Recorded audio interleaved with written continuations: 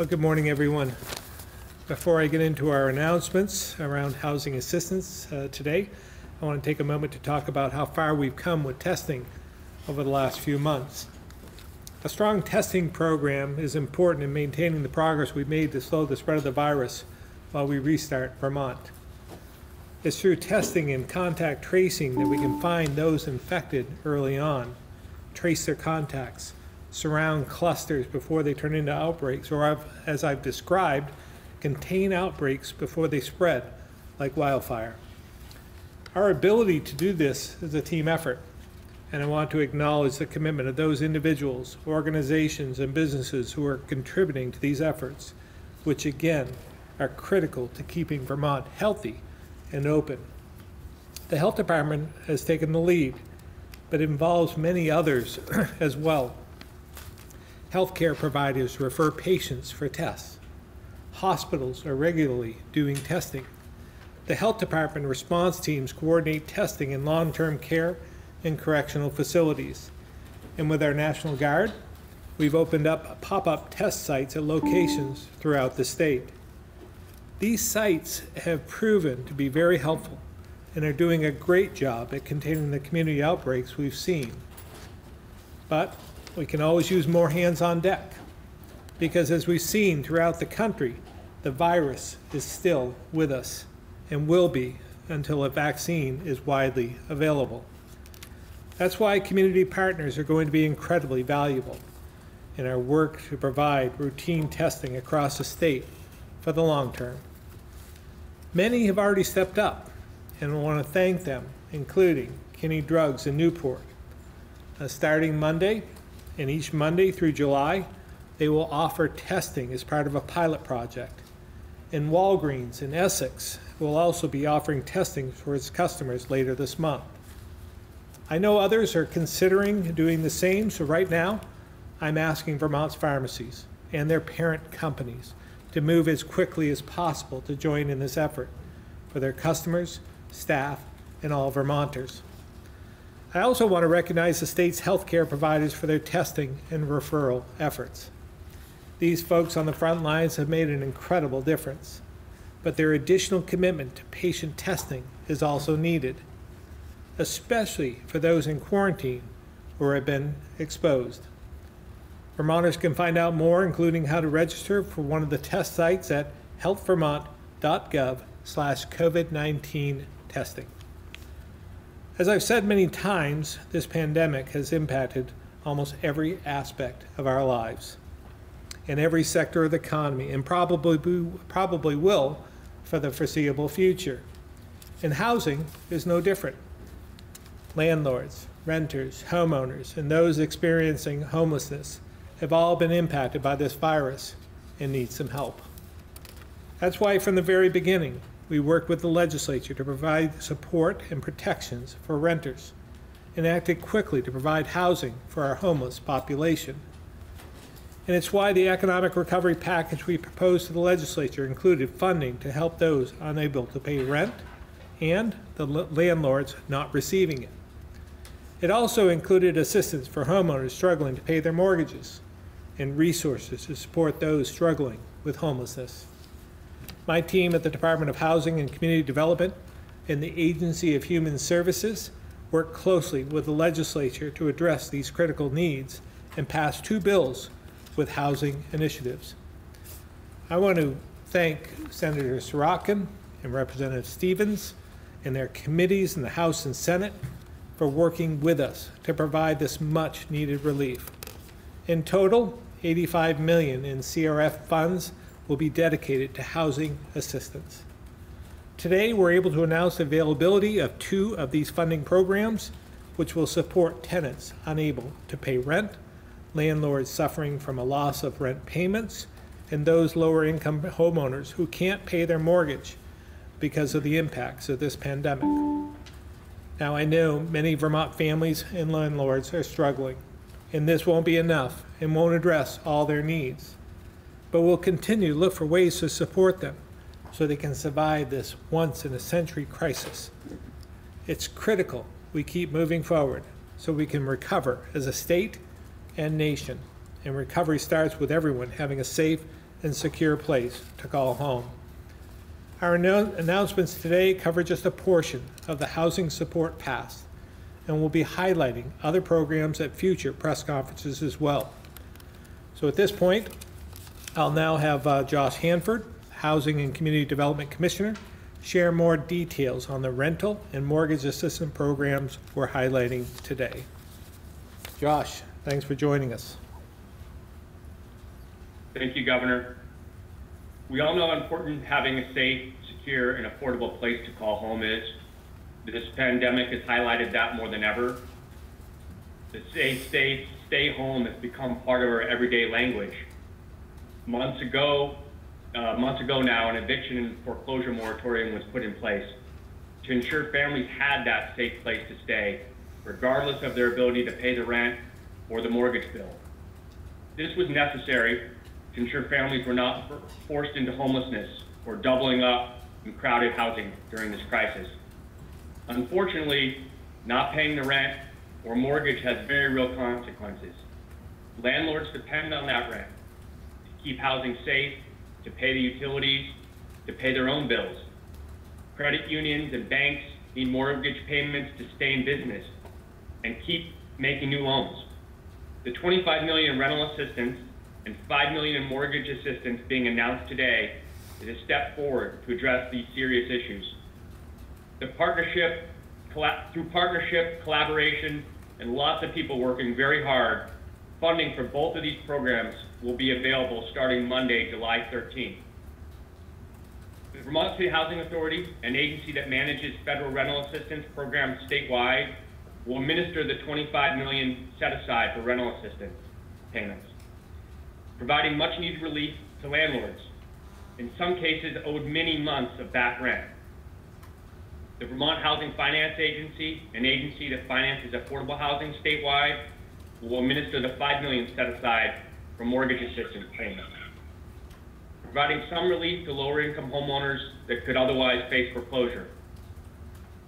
Knowing the need is great and the demand for this assistance will be high, technical assistance has been made available through the Vermont Landlords Association to help landlords across the state access this rental assistance program, and the Vermont Legal Aid to help tenants and homeowners access these funds. More information on these programs will be available, is available on accd.vermont.gov.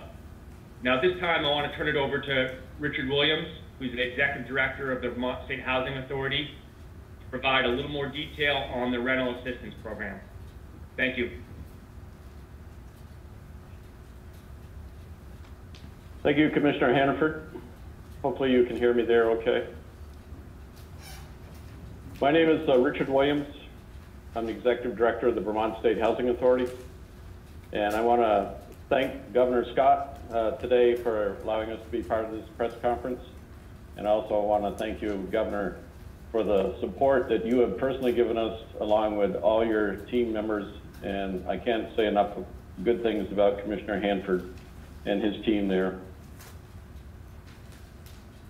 So uh, today I, I, just wanted to begin by, uh, even prior to COVID-19, uh, over half of the renters in Vermont, about 36,000 households, have housing costs that consume more than 30% of their income, the standard for assessing affordability. When housing costs consume more than this, tenants are less likely to have enough income remaining for other living expenses, which can lead to housing instability.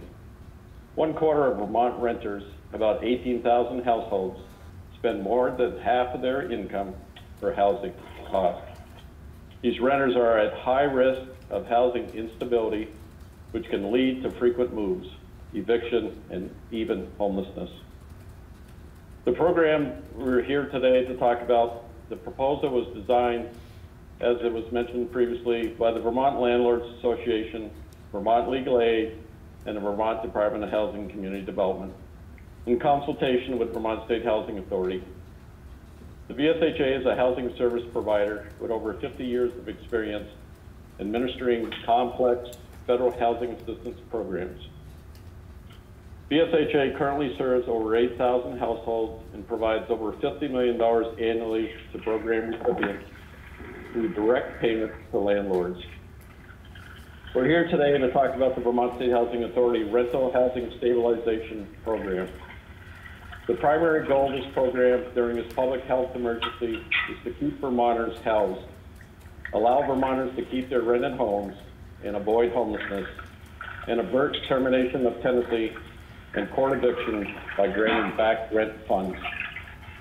The second goal is to compensate landlords for some of their losses due to the CARES Act, judicial emergencies, and stay of eviction proceedings. The program is designed to maximize the number of households who remain housed during COVID-19. I just uh, quickly would like to go over a couple of the uh, uh, overview of the rental housing uh, stabilization program. So who is eligible to apply? Both tenants and landlords can apply if the unit is occupied. Uh, people or households experiencing homelessness. The grant money can be used for past due rent payments, including past due mobile home lot rent payments. It also can be used for first and last month rent payments and security deposit payments to secure affordable units for tenants. The simple application process, certifications are under penalty of perjury. Certification of past due rent by a landlord by month, simply a rent roll or a ledger. And the unit, uh, and the landlord must certify that the unit is not out of compliance with the Vermont Rental Housing Health Code or any health and safety order. If the unit is out of compliance, the landlord will have 30 days to bring that unit into compliance. Certif certifications by the tenant of all household members covered by the grant, and that there are, and they also, the tenant also has to certify that there are no known health and safety violations. And if there is, the tenant will allow the landlord access to the unit to make the repairs. All success, successive certification that rent is past due is, is payment guaranteed provided there are remaining programs. So basically what I just tried to say there was that you can reapply more than once. Uh, applications will be processed on a first come, first served basis. Uh, calculation of condition of grants. The, the grants are limited to the Vermont State Housing Authority payment standards or the actual amount due the landlord for the months being claimed, whichever is less per household at a single unit. The landlords must waive any late fees, any rent in excess of the VSHA payment standards for months of the grant. The landlord must agree to drop current eviction and past cause for eviction and landlord must agree not to evict for non-payment of rent if tenant's application for rent arrears grant is pending for a specific period of time. The landlord must agree not to increase the contract rent before January 1st, 2021. The landlord agrees not to discriminate against the tenants on the basis of race, color, national origin, ethnicity, religion, age, disability, sex, gender identity, sexual orientation, presence of minor children, abuse, sexual assault, or stalking, or receipt of public assistance or marital status. The CR funds can be used to pay arrearages incurred before March 1st. The intent of this legislation is to prevent the homelessness and eviction during the March to December 30th timeline and to assist landlords who have also lost income and are facing hardship due to the pandemic. Given the public health benefit as well as the cost savings of preventing homelessness, the expenditure is justifiable. The grant amount is not taxable income for the tenant. However, the grant amount to the landlord is taxable. If you are a landlord interested in these funds, please consult a financial advisor for additional information. At the end of the year, the Vermont State Housing Authority will issue landlords a 1099 tax form and the other point I wanted to make is that a certification of legal U.S. residence is not necessary requirement for the rental assistance program. So I'd like to refer you to my webpage. It's www.vsha.org.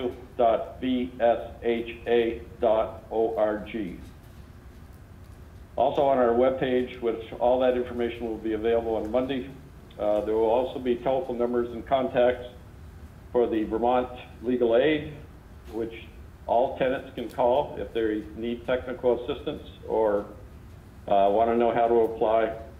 The Vermont Landlord Association also offers the services to landlords, but you do not have to be a member of the Vermont Landlord Association. Any landlord can call. Those numbers will be there. And, uh, and all, also all the other program uh, detail applications, everything will be on the website. So as the governor thanked the legislature, I just would like to say, I'd also like to say, uh, thank the legislature, uh, especially the committees of jurisdiction, uh, Commissioner Hanford for the hours and hours and hours that we spent on Zoom meetings uh, to stand up this program. And uh, thank you, Governor, for inviting me here today. And uh, my next task is to introduce Maura Collins, the Executive Director of the Vermont Housing Finance Agency. Thank you, Richard, and thank you, Governor, for inviting me here today. My name is Maura Collins. I'm the Executive Director of the Vermont Housing Finance Agency. We are a statewide affordable housing mortgage lender. But today I'm here because the Governor's administration invited us to administer one of the housing assistance programs that he proposed that will help keep Vermonters safely and affordably housed throughout this pandemic. Over 60% of Vermonters own their homes and owe money on a mortgage, and many of them have been hit hard by the economic toll of the COVID crisis.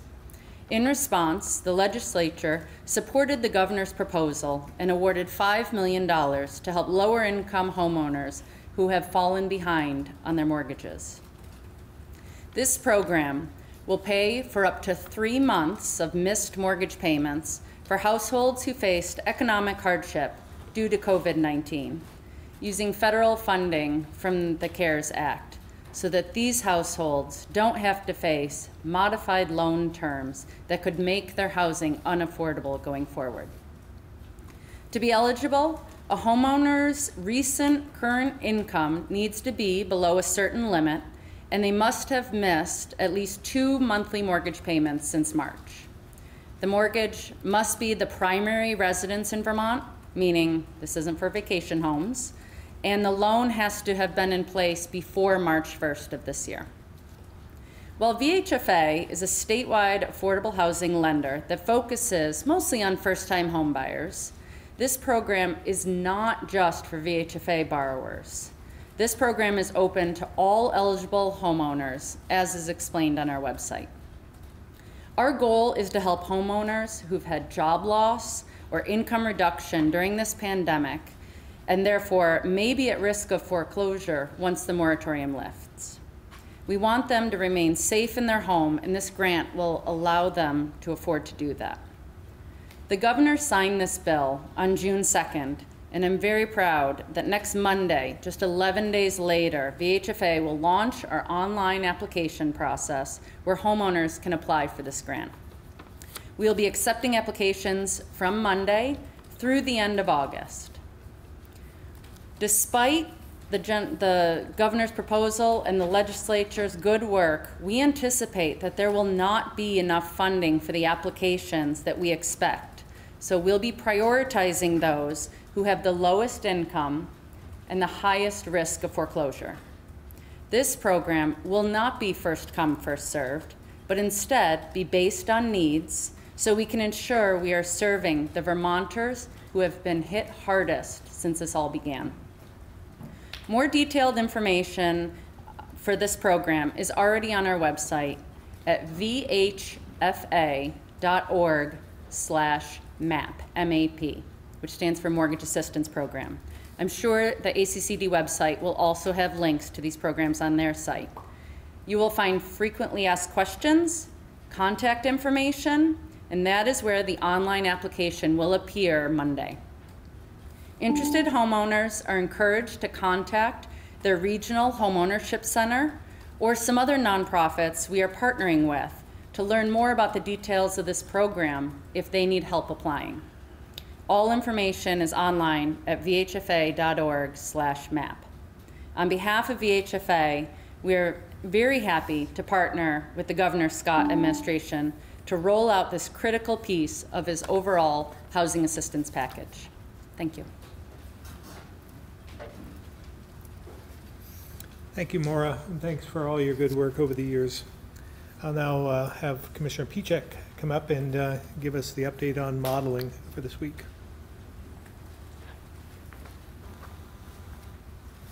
Uh, Thank you very much, Governor, and good morning, everyone. Uh, For those who are watching at home, I want to remind you that uh, you can find today's presentation along with all of our modeling resources on our department's website, uh, dfr.vermont.gov, uh, under our COVID-19 resource page.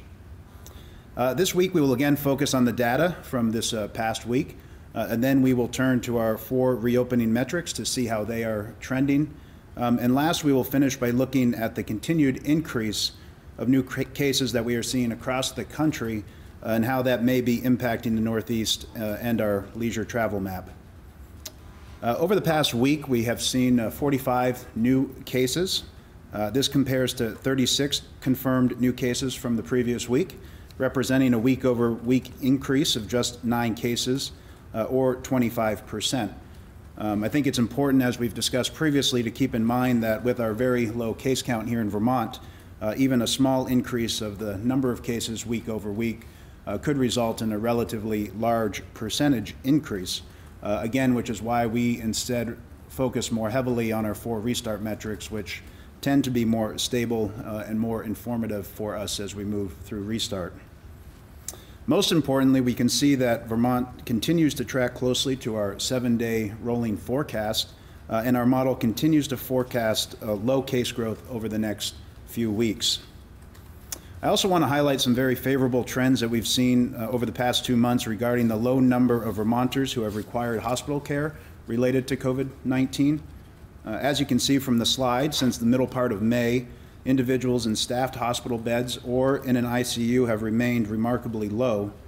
Uh, This can certainly be explained in part due to the considerable reduction in new cases we've seen over the previous months, represented here by the yellow line. However, uh, this low rate of hospitalization is also partly explained by the reduction in the average age of Vermonters who are testing positive for COVID-19. Based on a 14-day rolling average, we can see during the months of March and April, the average age of a Vermonter who tested positive for COVID-19 ranged between 50 and 55 years of age. During the months of May, or during the month of May, that range generally fell between 40 and 50 years old with a distinct downward trend. And finally, for the past six weeks, the average age of a Vermonter testing positive has generally remained under 40 years old. This illustrates that more vulnerable Vermonters, at least by age, have done a really good job of protecting themselves during Vermont's restart, and so have the many facilities across our state who house vulnerable Vermonters in nursing homes or other long-term care facilities. So again, while our data is trending favorably generally, taking an even closer look at our data provides even greater reassurance. Now turning to our four reopening metrics, uh, these are all again broadly trending well. Uh, the percentage of Vermonters visiting emergency rooms or urgent care facilities to report COVID-like symptoms remained very stable this week, uh, and today sits at just 0.63%, well below our 4% guardrail. The three and seven day viral growth rates have again held steady this week.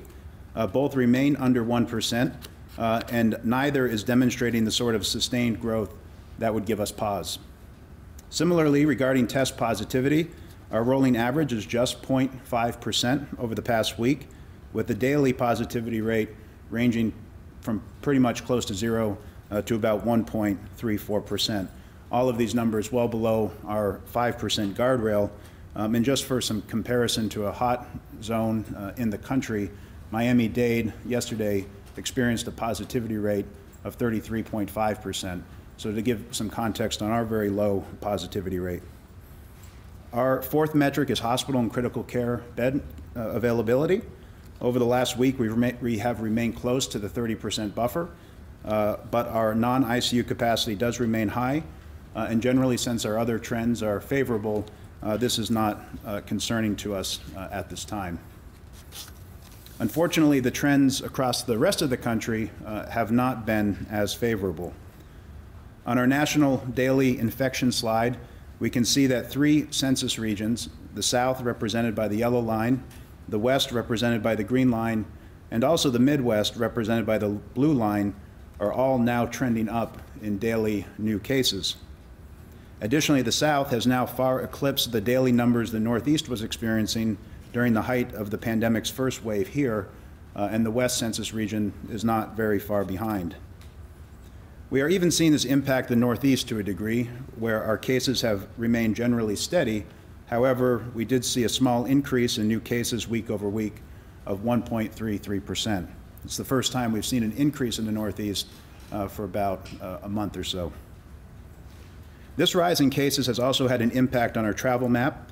You can see from the slide that many of the states that are on the perimeter of our map have seen counties move to yellow or red status, while much of the Northeast has remained flat. Approximately 11.5 million people are eligible to enter Vermont without a quarantine, representing a decrease from 13.5 million who were eligible to enter Vermont last week without a quarantine. Again, for New England and the Northeast, including New York, those numbers have remained steady and flat, uh, and it's mostly the states around our perimeter of the travel map that have seen increases uh, located in the South census zone uh, and the Midwest census zone. And I think it serves as a good reminder about how interconnected uh, our country is uh, and how we need to remain vigilant, even though our numbers are so steady and favorable here in Vermont. At this time, I'd like to turn it over to Dr. Levine.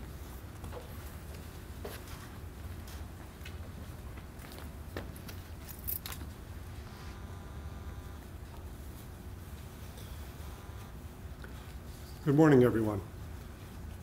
The Health Department continues to follow the Burlington, Winooski, and Fair Haven outbreaks, but no new cases have been added in well over a week. Sporadic cases of COVID-19 continue to occur in Chittenden County and elsewhere in the state.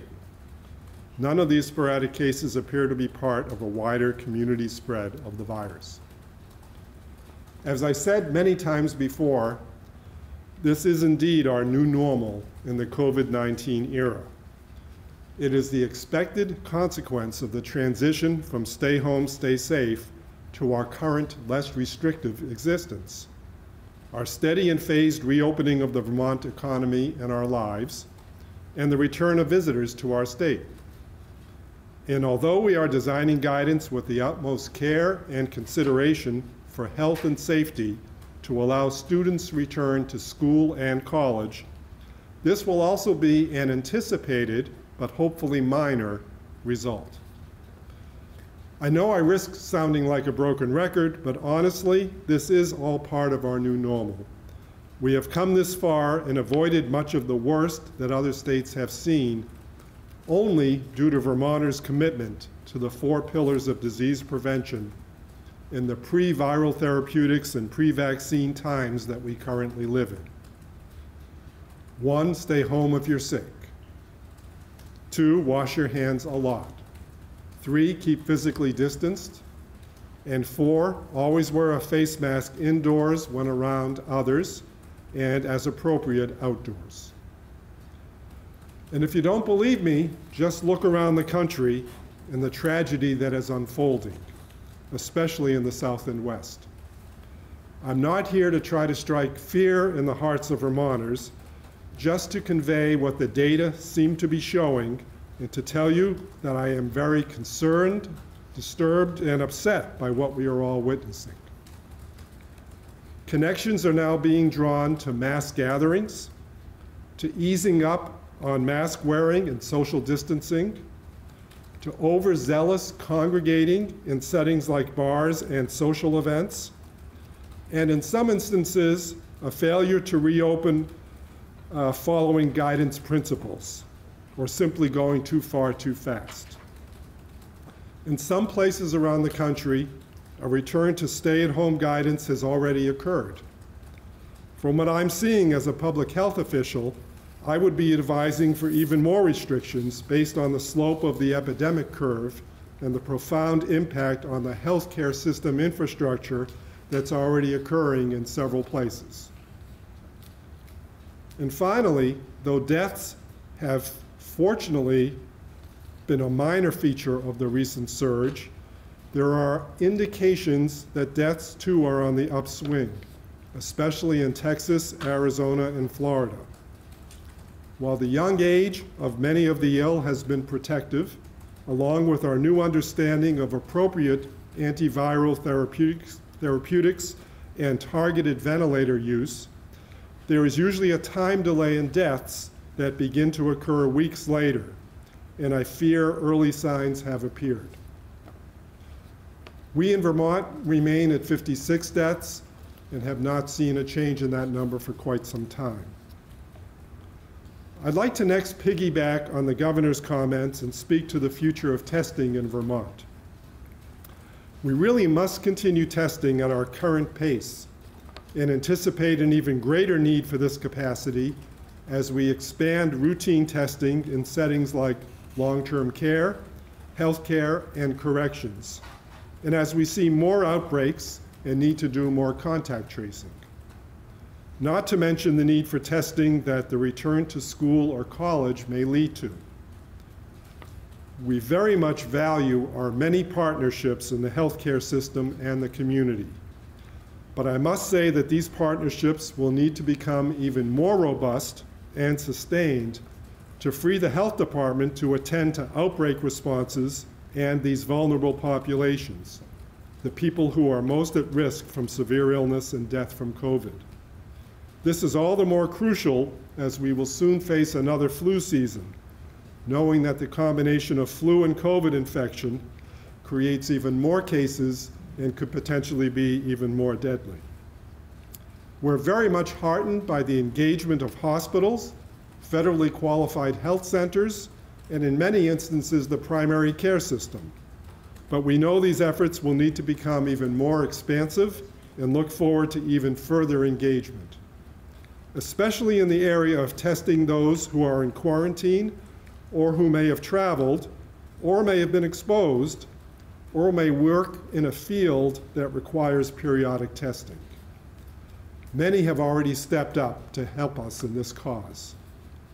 And we heartily welcome the pharmacy pilots and hope that these can become even more expansive and quickly. Thank you.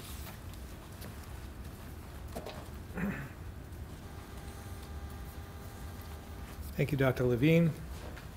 And with that, we'll open it up to questions. Calvin? All right, uh, thank you. So I'm not quite sure who this would be a question for, but Governor, regarding this new um, rental housing assistance program, um, what's stopping people that can pay their rent? What's stopping them from applying this, or applying to this and uh, taking advantage of the program? Yeah, uh, I'll refer to Commissioner Hanford, and uh, he might want to delegate from there. Commissioner Hanford. Uh, yes, a- actually, I had a hard time hearing the rest of that It- question. Could It it be was, uh, repeated? I think the question, and uh, you can, you can uh, clarify, Calvin, if I get this wrong, but uh, the question was, what prevents those who can pay their rent uh, from taking advantage of this program when they actually have the funding available to do that? Yeah, that's, um, you know, obviously there has been, um, unemployment insurance and other assistance that's been available to folks. Um, they've may, maybe had other needs for those funds. Um, you know, there is a, a proven need for this funding to be released. Um, the fact that they have not paid their rent has certainly been a challenge for the landlords that have to up, keep that housing safe and pay their bills. Um, so there's a dual benefit to this program. Um, I'm going to see if Richard Williams has any additional um, comment on this question. Uh, Thank you. I think we all know that uh, most of our Vermonters are very honest, and uh, so uh, I know people are, you know, people have been trying to pay the rent, and uh, and uh, we've seen some st- good statistics that you know show people are paying their rent. But I think we're going to see, as this continues, uh, this pandemic continues, I think you know people will be stressed out. You know, the the, the monies that they were receiving will run out soon, and uh, they're definitely going to need help. Uh, you know, it is a self-certification. You're doing it under perjury, uh, and a landlord has to, you know, certify what the rent is outstanding. Um, so uh, I think that's the best I can give you for the answer. We'll, we'll definitely know as as we go forward and we collect more data, but uh, you know, we're we're feeling pretty good that you know Vermonters are really trying hard, uh, you know, to pay their to pay their rent. And just a quick so, so much of this, of course, deals with the eviction moratorium that we have going on. Um, When, I guess, will we know, or when will that uh, be lifted? Um, You know, I'm trying to recall, uh, and uh, I'm not sure that I have a general counsel on, and if there's anyone on the line that can uh, help me with this, but I, I believe that it would expire uh, when the executive order expires. I don't think we put a time frame on, the- on there, other than uh, we can, uh, we can choose not to include it when, when we renew the executive order, or we can continue to, to have it included, Um, but we haven't made that determination at this point. Governor, I might be able to help you on that. Sure. Uh, It's 30 days after the executive order uh, ends, uh, that you can begin an eviction for non-payment rent. Thank you, Richard. Stuart? Thanks. Uh, Governor, can you give us an update on the um, applications for the economic recovery grants that uh, Commissioner Goldstein spoke of on Tuesday?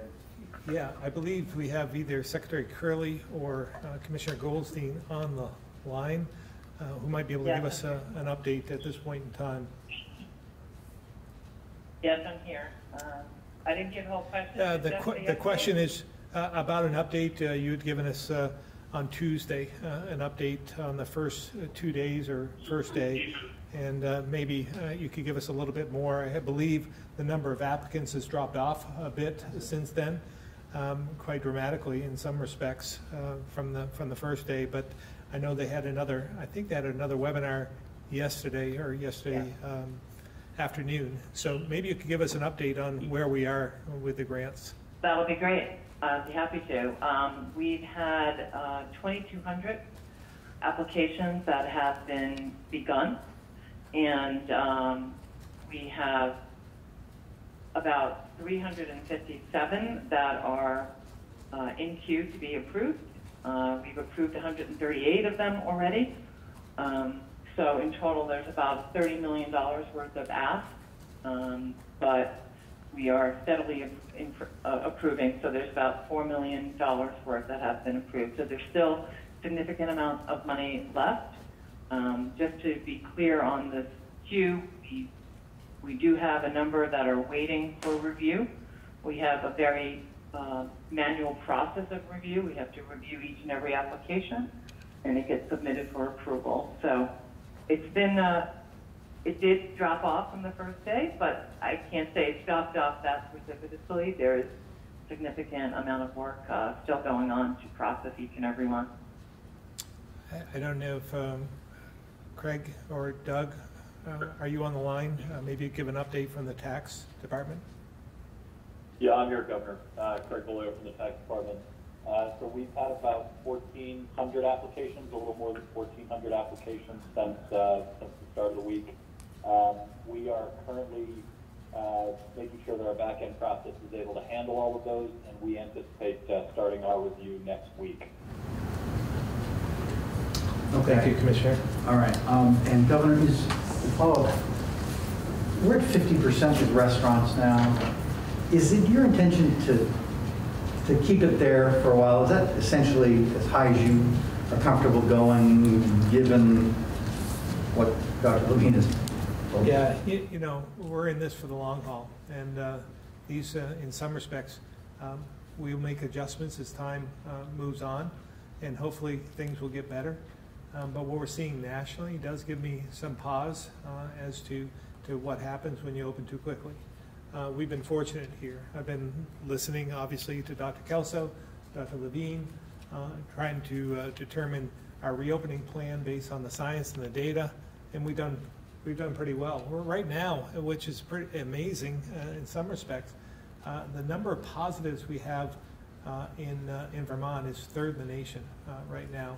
Uh, Hawaii is number, number one, Alaska is number two, uh, and Vermont is, is third. Um, We, we surpassed uh, Montana, as a matter of fact. So, uh, again, we're doing well, um, but uh, we need to continue to move along the same track and, and, and be uh, very measured in what we do. So I know there's a lot of pressure to continue to reopen. Uh, But I don't want to end up in the same position uh, that other states are, uh, like Arizona and Texas and Florida. Uh, We've, uh, our plan is working, and we need to move forward uh, again in a very measured way.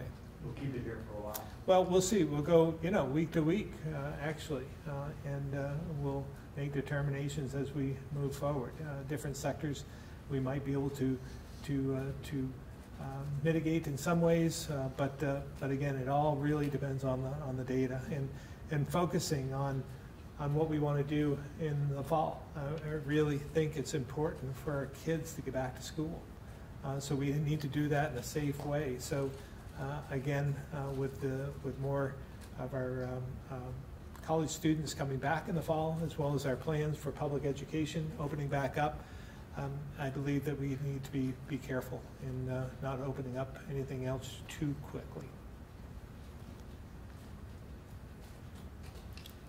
All right, I think we can move to the phones, starting with Ed from the Newport Daily Express.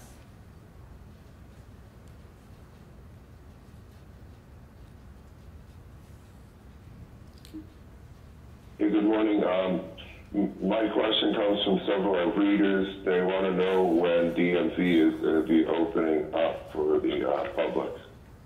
Um, You mean for in-person uh, service, Ed? Yeah. Yeah. Um, Yeah. Obviously, I just want to remind everyone uh, that we haven't uh, really closed at DMV, uh, just more uh, from a in-person standpoint. Uh, So you can still do things online, you can still call in, um, but we, uh, we're working on a plan uh, to open up in a measured way.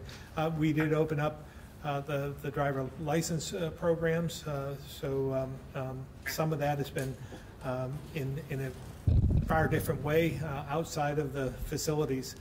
But I might ask Secretary Young if she's on about, about the plan moving forward for more interaction with state employees and how that's going. Um, Thank you, Governor. Uh, Is this in, uh, the question is in connection with the motor vehicle office? Yeah, it was for the DMV office, uh, but, uh, but I thought, you know, we, we do, we are thinking a little bit forward uh, in terms of, of how do we bring back uh, some of the state employees that, uh, that are essential for in- in-person service as well. Yes, absolutely. Um, I think each individual agency and department right now is looking at um, who they would like to bring back to the work site, how they can bring them back to the work site. And motor vehicle certainly is um, one, the one department that uh, is, is uh, one of the first on, on our priority list. So the uh, Department of Buildings and General Services is working with motor vehicle um, to set up uh, some safety features, be it plexiglass that may already be in for customer service. So uh, I think those plans are proceeding, and we are finalizing um, worksite safety uh, guidelines generally. But, but the big question is um, for each agency and department is who should be returned uh, to the work site um, and when, and who, uh, and as we've said all along, um, those employees who can do their job through telecommuting and teleworking are, um, are being encouraged and uh, asked to do so for the immediate future. Yeah, Ed, um, you'll be seeing that, it'll be one of, it's a priority for us, uh, DMV in particular. Um, So you'll probably be seeing that sooner rather than later. Uh, And I'm not sure whether you had asked earlier, but uh, someone had asked about uh, the rest areas um, and uh, the service areas along the interstate. And uh, those uh, will be opening up soon as well. Uh, uh, Not all of them, but uh, a portion of them. Uh, Some of the higher capacity uh, rest areas will be opening up soon on a limited uh, uh, basis. That, that's Thank correct, you. Governor.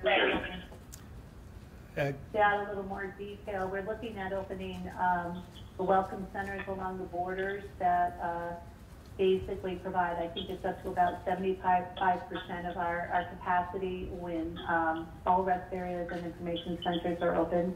Um, we're going to be having to staff those a little bit differently, so we're limiting the phase one of the reopenings to nine out of uh, 17 of our existing information centers, and those should be uh, up and running um, and online uh, within the next two two to three weeks. Our goal is within two weeks. Okay. Thank you very much. Thank you, Ed. Wilson, the AP. Um, good morning, everybody. Um, I have two questions, somewhat different, quite different, actually. The first one, since Vermont started allowing people to visit from other states without quarantining the list of counties that, that is now, I guess, shrinking, has, has Vermont noticed a, uh, an increase in the number of people from those areas? And secondly, and this is a question, I guess, for Dr. Levine, uh, every day when the uh, number of new cases are published on your website, they seem to vary dramatically from day to day. Like today it was five, and yesterday it was 15, and goes three. And is there anything to be read into that? And it's just, it's, I would have expected it to be a little more even, and it's not. And those are my two questions. Um, Yeah, I'll try and answer the, the first one. Um, We don't keep uh, data on the particular areas, uh, th- those counties that we have opened up and who is visiting. Uh, We do uh, keep an automated type of log uh, determining how many vehicles come into the state. Uh, It's leveled off a bit. There was a, a bit of an uptick two weeks ago, three weeks ago. Uh, And uh, at this point in time, uh, since the Fourth of July, I believe we actually had a little bit of a, a decrease uh, in the number of people. So I, I don't know as we've, uh, we've measured it. I, I might refer to Commissioner Pieciak to see if he can uh, answer that further uh, before we get to the second question. Thank you. Uh, So the governor is right about the manual counting of um, of vehicles coming into Vermont. Uh, We also have access to third-party information about mobility data uh, from aggregated, anonymized, um, you know, cell phone applications, uh, user user consented as well.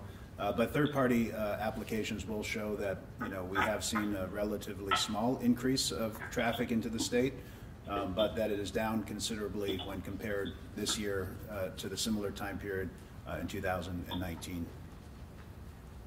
Okay.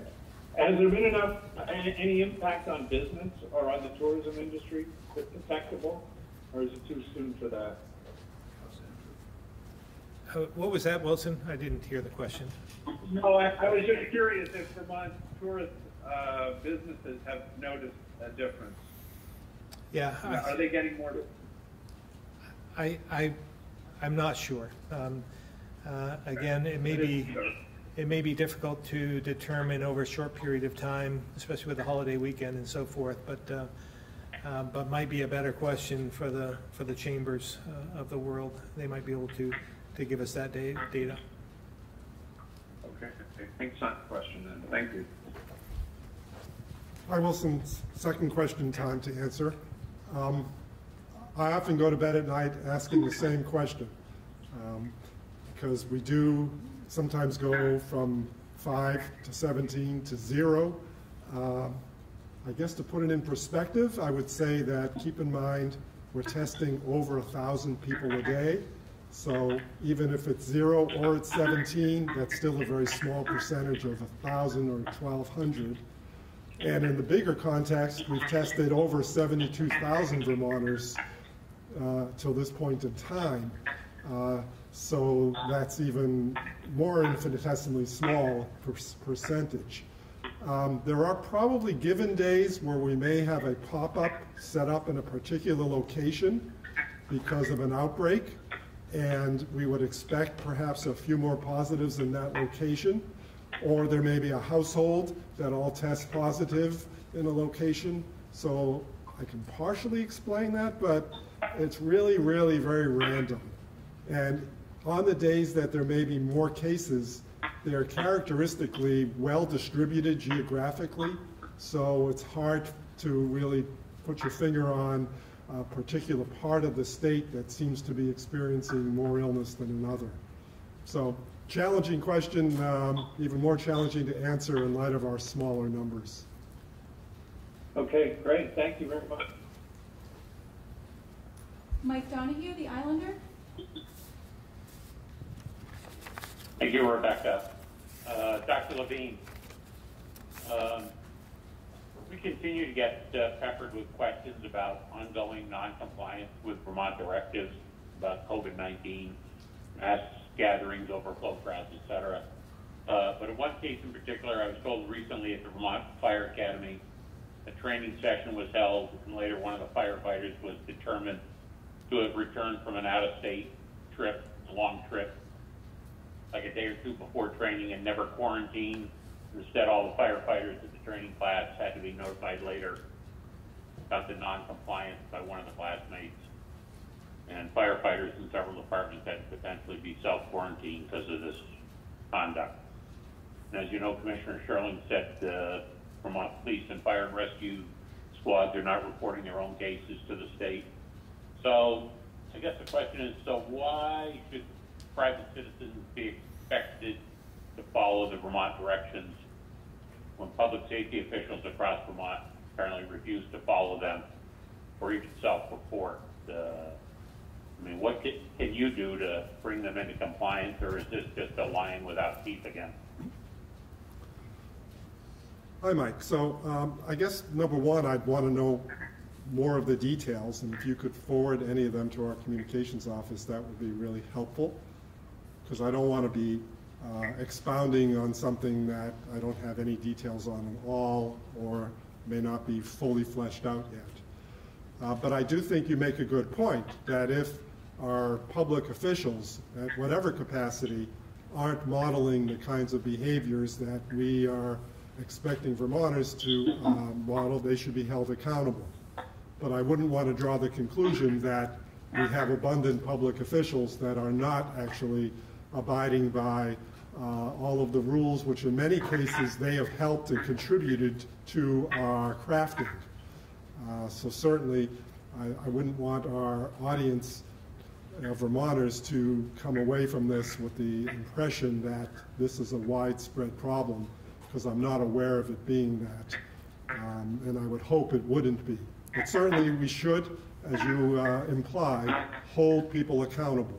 And if there are indeed officials that have uh, not stuck to the rules uh, as we've crafted them, um, we should hold them accountable for that.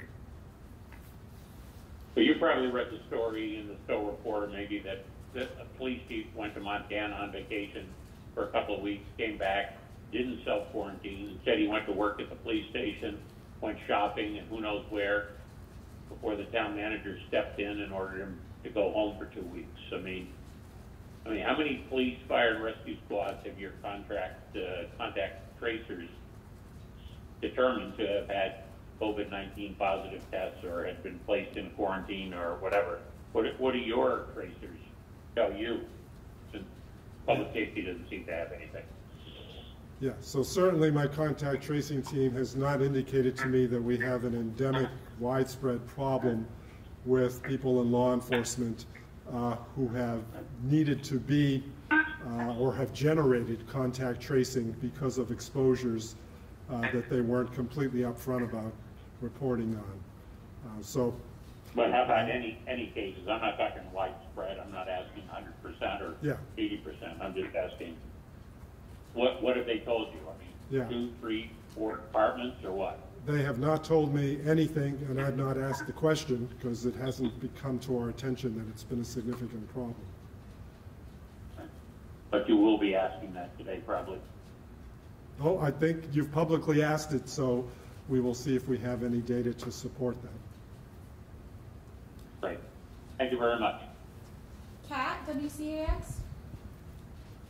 Hi. We've seen a lot of talk both locally and nationally about what happens in a month and a half when schools are set to go back.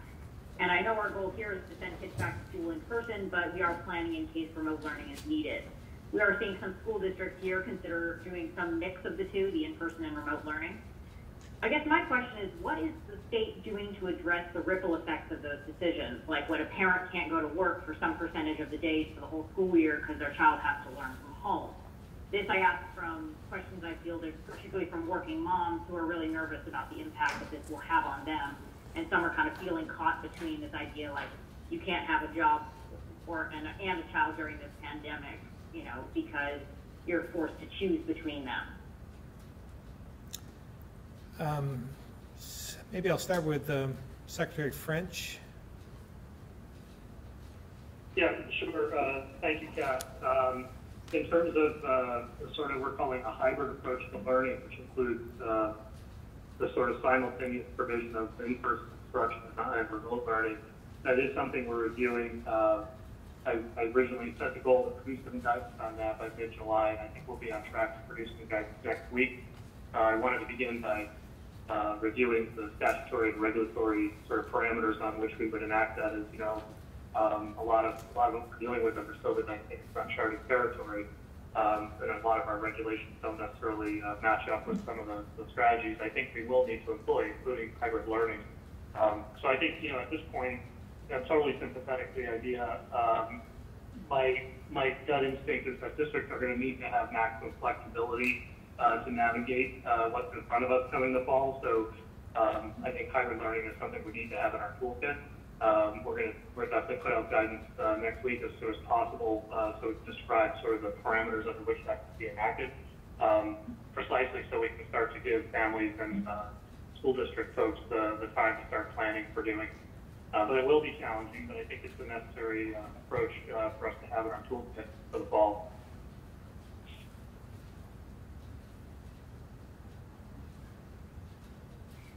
I guess for, you know, what would, what message would you have, Governor, for the families out there who are looking at this possibility of in the fall, not being able to, if they have a job that does not allow them to work remotely, and even if, quite frankly, even if they do, because uh, most parents I've spoken will tell you, you know, working remotely and trying to help your kid in school are, you know, not easy.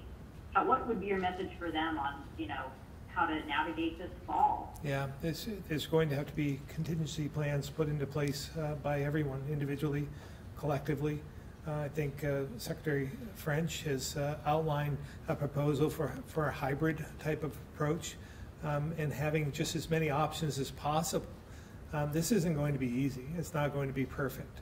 Um, but by and large, I think we have to consider collectively what's best for the kids uh, what's best for them uh, this this fall. And I think getting back to school for in-person instruction is incredibly important uh, to our kids. So somehow, some way, um, and, and again, it won't be perfect, uh, but I believe this is the right approach uh, for our children. And what would be your message to employers who, you know, in the fall are going to maybe Same, have to same deal. I mean, they're going to have to be as flexible as possible. I think we've seen uh, an incredible amount of flexibility uh, amongst employers uh, and uh, uh, throughout uh, employees and employers, and we're going to have to continue. This is a this is a long, long road ahead of us in some respects. This isn't over by any any means, and it won't be until we have some sort of vaccine in place that is safe uh, and that is distributed uh, throughout the, the, uh, the population. So that's going to take some time.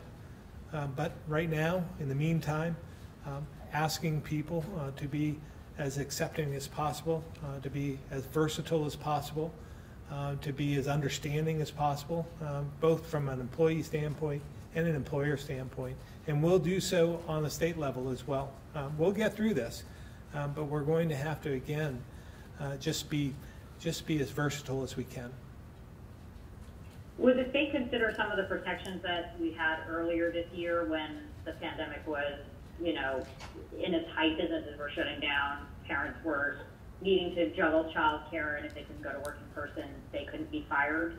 Would, would the state consider reinstituting some of that so parents wouldn't worry about losing their jobs if they had to deal yeah, with I don't, childcare? I don't think we've ever stopped that, Kat.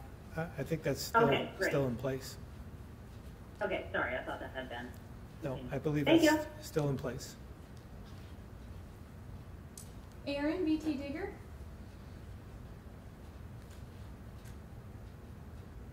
Hello. Um, I, uh, I have some questions about the cross-state travel map. I, uh, I had an epidemiologist contact me recently about the methodology for the travel map, and uh, I took a, a good look at it myself. Um, he has a, a number of criticisms. I don't know if I, you know, want to get into all of them here.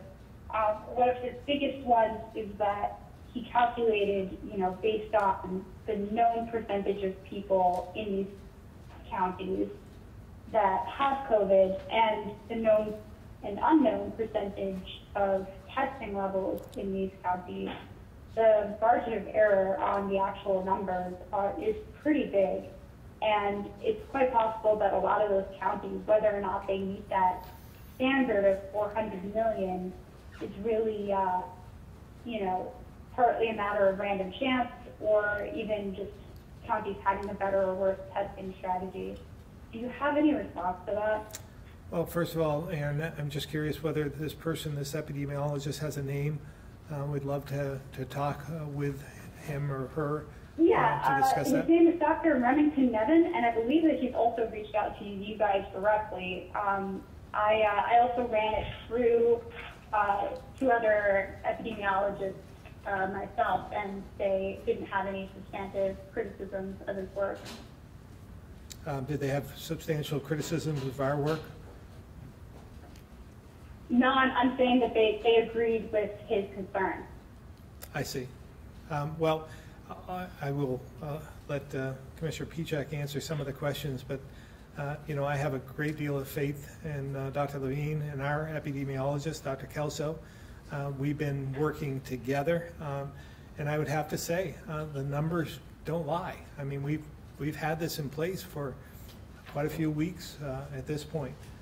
We're seeing people come to the state and, um, and I can't give you the exact numbers, but we know they're here anecdotally, uh, and we're seeing uh, the plates and so forth. So, and we haven't seen a spike in, in terms of the uh, number of active cases. So what we're doing, um, and, it, and again, may, maybe it's fair for criticism. Uh, maybe we could do it differently. I know other states have just opened up uh, to the whole state without considering uh, such a low threshold as 400 uh, per, uh, per million uh, in terms of uh, active cases. But we took this cautious approach, and I think it's working. And so um, I'll let Commissioner Pieciak answer. Uh, Thank you, Governor, and and thank you, Aaron. So, um, you know, relating to the, uh, the threshold of 400 active cases per million, you know, I think um, that has been uh, proven to be a pretty solid number for us when we've seen other jurisdictions incorporate uh, some level of threshold. They either end up right at near that 400 level, uh, or in some cases, they're even stricter. I think New York, New Jersey, and Connecticut, you know, if they were to apply their methodology to ours, the threshold would be about 650 cases uh, per million, so a little bit higher. The EU implemented, um, you know, recently uh, a threshold as well. Um, Theirs is on a 14-day average, so that would equate to a threshold that was lower than ours, uh, about 100, 150, I think, uh, active cases per million.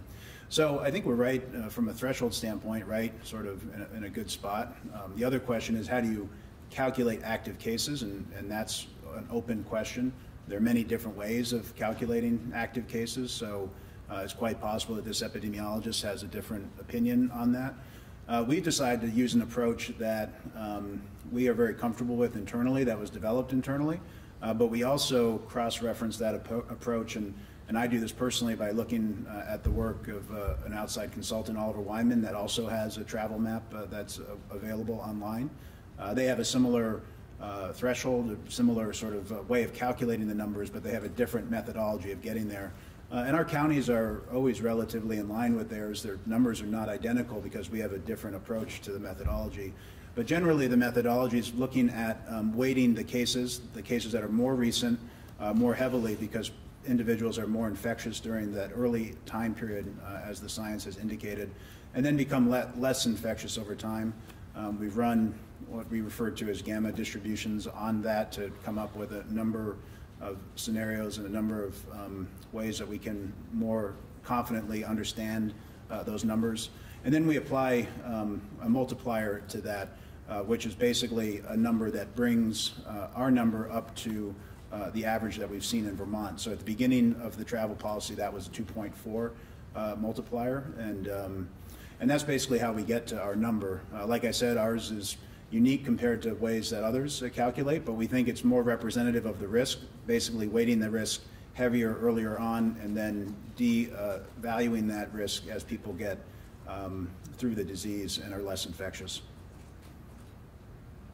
Yeah, um, when it comes to, you know, the, well, really both the active case calculations and the, you know, decision to make the 400, those aren't necessarily based on, you know, scientific research or modeling that has proven that, you know, that as long as it's at that level, it will prevent any kind of danger.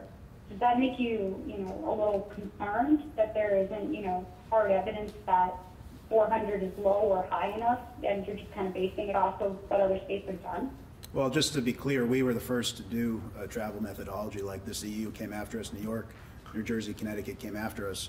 So when we looked at, um, you know, doing this, we were really the first um, state in the country, certainly, pretty much the first jurisdiction in the world that contemplated this. And, um, you know, it's the first time we've had a pandemic of this level in 100 years. So there really wasn't scientific evidence or scientific literature that could that we could rely on and say what's a safe you know threshold that will make uh, certain that Vermonters are not going to get impacted. But what we did do is look at the relative risk. We looked at what were the Vermont counties looking like over time. Where um, uh, what was that number at the time? It was somewhere between 100 and 200 uh, uh, active cases per million. So we said, what's a, a, number that maybe, you know, is a reasonable number based on that? What's a relative amount of risk that we're willing to accept? And from the beginning, we've always said, you know, that these aren't necessarily uh, safe counties. It's not how we're describing them. We're describing them as quarantine or non-quarantine counties. Uh, so there's always an element of risk, and we've said that uh, up front. But what the county threshold does allow us to do is provide us some certainty that um, if we do see some cases that are imported to Vermont, that we do have testing to flesh that out, uh, and we do have contact tracing to isolate it. So that threshold was designed carefully in terms of, you know, what's our capacity to withstand an increase in cases and what's our risk appetite. But like I said, there really hasn't been an experience like this before, so we really had to um, do some critical thinking and come up with a, an analysis that made sense. And a number of other jurisdictions have landed with an analysis uh, right around ours, so that gives us some comfort. The last thing that he touched on, um, that talking with him was that, you know, I don't believe this is intentional, but just looking at the results, a lot of um, the counties that are excluded have a higher percentage of people of color than the counties that are allowed to travel to Vermont. Um, so it has a bit of a outsized effect on people of color. Does that concern you? Do you think that it's fair to, you know, kind of make judgments about people just based on where they live and not what habits they're following or whether they've tested positive or not? So certainly the, the discrepancy um, in COVID positive uh, and the experience that people have once tested positive is certainly deeply disturbing and troubling to everyone. Um, what I would point out first is that uh, everyone can come to Vermont in some way, uh, whether it's uh, not through, whether you don't have to quarantine or whether you have to quarantine at home uh, and then come to Vermont, uh, or whether you have to come to Vermont and then quarantine here. So Vermont is open to everyone. Uh, we just set parameters that we think are appropriate based on the risk of a geographical location. Okay. Um, does anyone else have any comments before I um, I, I might just ask if the uh, epidemiolo epidemiologist um, is critical of other states and their travel policies, or, or is it just Vermont? Well, he's a, he's a Vermont-based doctor uh, who's also a trained epidemiologist, so I think that's why he was focused specifically on Vermont. So I'm just wondering if he, he pointed to another state that has a better policy than we do. Uh, I don't think he specifically highlighted one, though. Um, I don't think that he's gone over them in, in detail as much as he has with Vermont, but that's, you know, a fair point. Yeah, it'd be, it'd be great to find out, because if there's somebody else doing it better than we are, um, maybe we can learn from them. Yeah, that's true. Thank you. Sasha, seven days. Hi, thanks for having me. Um, I have a question about uh, PPP, or PPE rather. Um, with cases rising in, in uh, many other states, you know, recently we've seen uh, some national stories about shortages sort of flaring up again of PPE.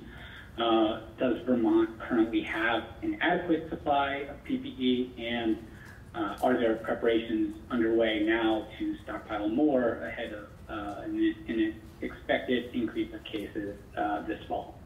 Yeah, it's a great question and uh, something that we've been concerned with from the start. And we haven't been idly uh, sitting back, waiting uh, for something to happen.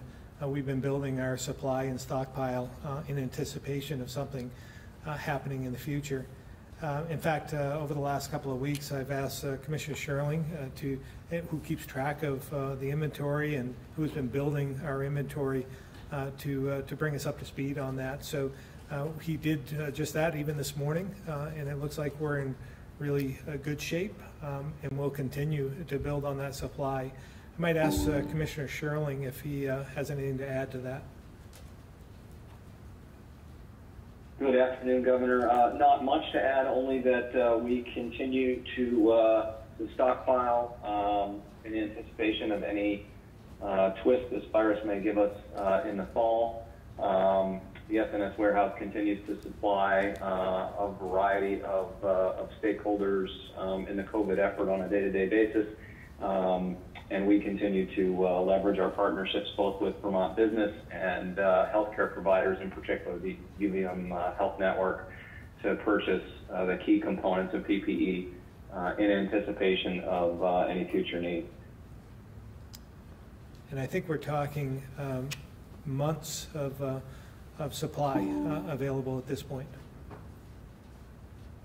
That is correct. Uh, We have, uh, in- most instances, we have multiple months of supply, and uh, to be clear with folks, well, our target is to have on hand 180 days of supply uh, of all PPE based on our best assessments of the burn rates uh, of each of the items.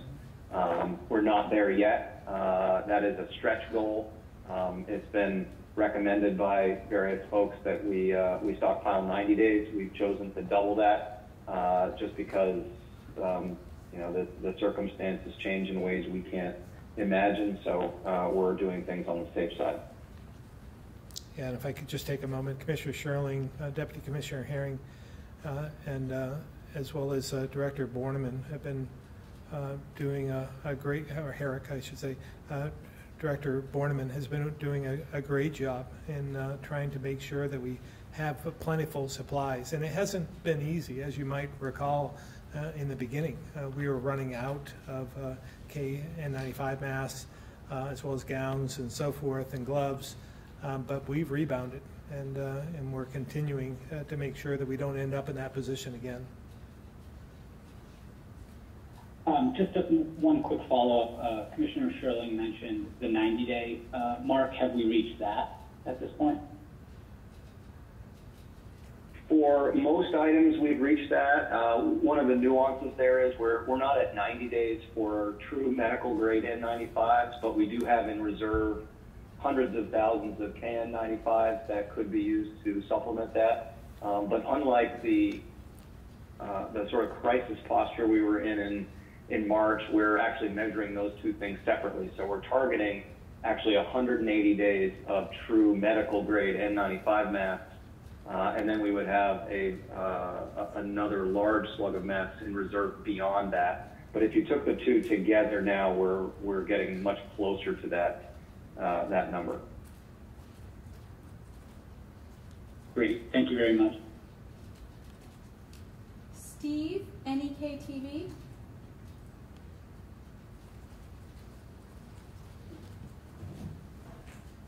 Um, hello, can you hear me?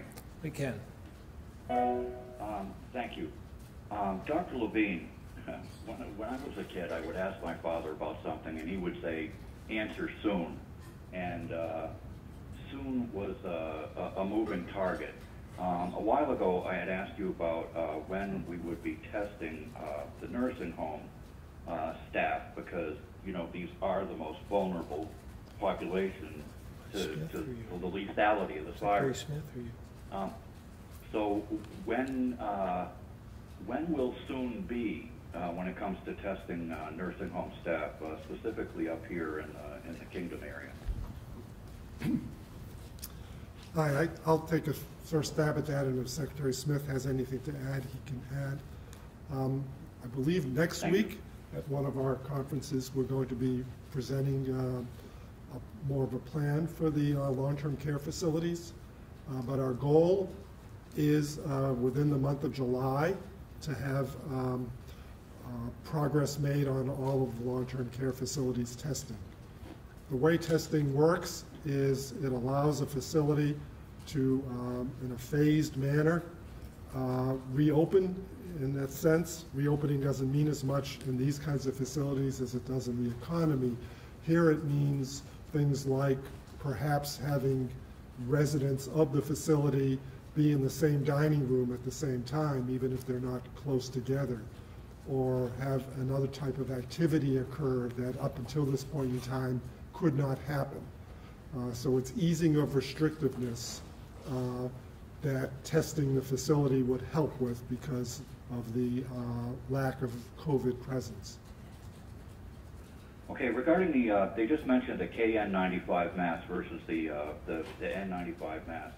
Are the KN95s like electrostatically charged to, uh, pick up the viruses like the, uh, N95s, the kosher N95s are? So my understanding, and uh, Commissioner Schirling can uh, pipe in, um, generally when we use the K in front of the N95, it means it was not produced in the United States. Quite often was produced in China or elsewhere. And though they are routinely by the FDA uh, evaluated, and in fact, when they come into Vermont, um, we work with the UVM Medical Center to evaluate them. Uh, They may not meet the same exact specifications of an N95 as we know it in this country.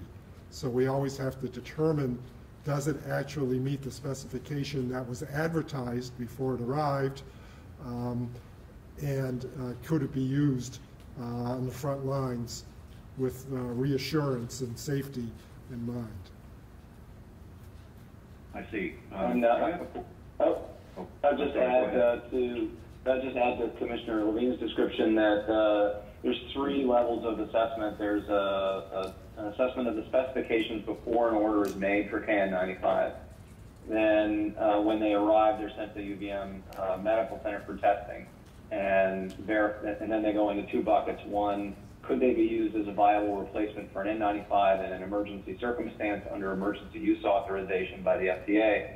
Uh, and then uh, the other bucket being if they haven't quite made um, that cut, we, can we use them for something else like replacement of a surgical mask or just a general mask?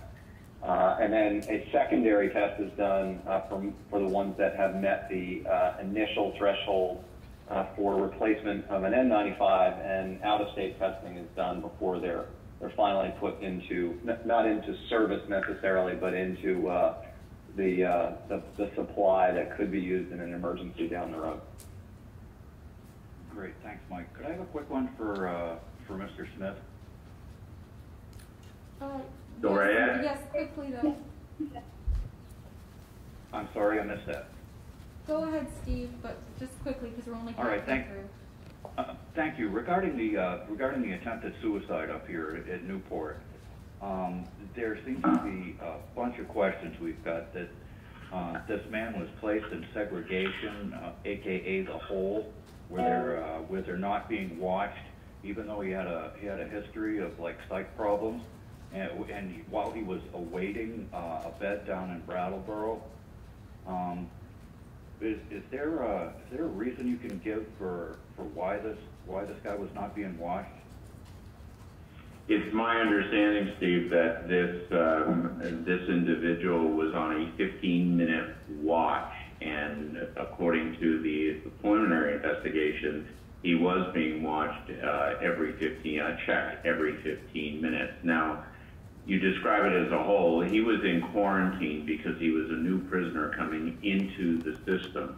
Quarantine means that we are making sure that it's segregated from the rest of the general population because as you know and as you're aware, we have had various instances of people that have tested positive for uh, COVID-19 coming in in the intake process in our system. So he was in quarantine. In terms of the Brattleboro retreat, it's my understanding that his lawyer wanted him uh, to be taken and was attempting to have him moved to the Brattleboro retreat. The uh, Department of Corrections had no no court order to move him or no court um, evaluation order uh, for him uh, during that time, according to what I have been told. So just to clear up those sort of instances. All right, but if he, if he had a history of psych problems, why was he given, uh, why was he allowed sheets instead of a padded blanket? The, the, um, I don't know about his history of psych problems. I don't know if the court had uh, ruled a psych evaluation as it was, as he was uh, appearing, but he was under 15-minute checks, uh, and he was in quarantine during that time period. Um, all right, great. I have a bunch more, but there's a lot of people waiting to, to talk to you folks, so uh, I guess I'll wrap it up there. Thank you very much. Thanks, Steve. Greg, the county courier. Hi, Governor. Uh, I'll be quick with this. And uh, Governor, I think you're off the hook. I think this is likely for Dr. Levine. Um, yesterday, Planned Parenthood made an announcement that uh, they'd be changing the way they were going to do STD and STI uh, testing so that they could do it, uh, so that people could do it at home. Um, they also said that STD and STI rates uh, are are on the rise, and they attributed part of that to uh, losing contact tracers to the public sector, such as the health department for COVID testing. Um, has the state of Vermont taken contact tracers from Planned Parenthood? Um, and kind of a secondary question, uh, are you aware of any measurable statistics in Vermont that would indicate if STDs or STIs are, are on the rise or fall?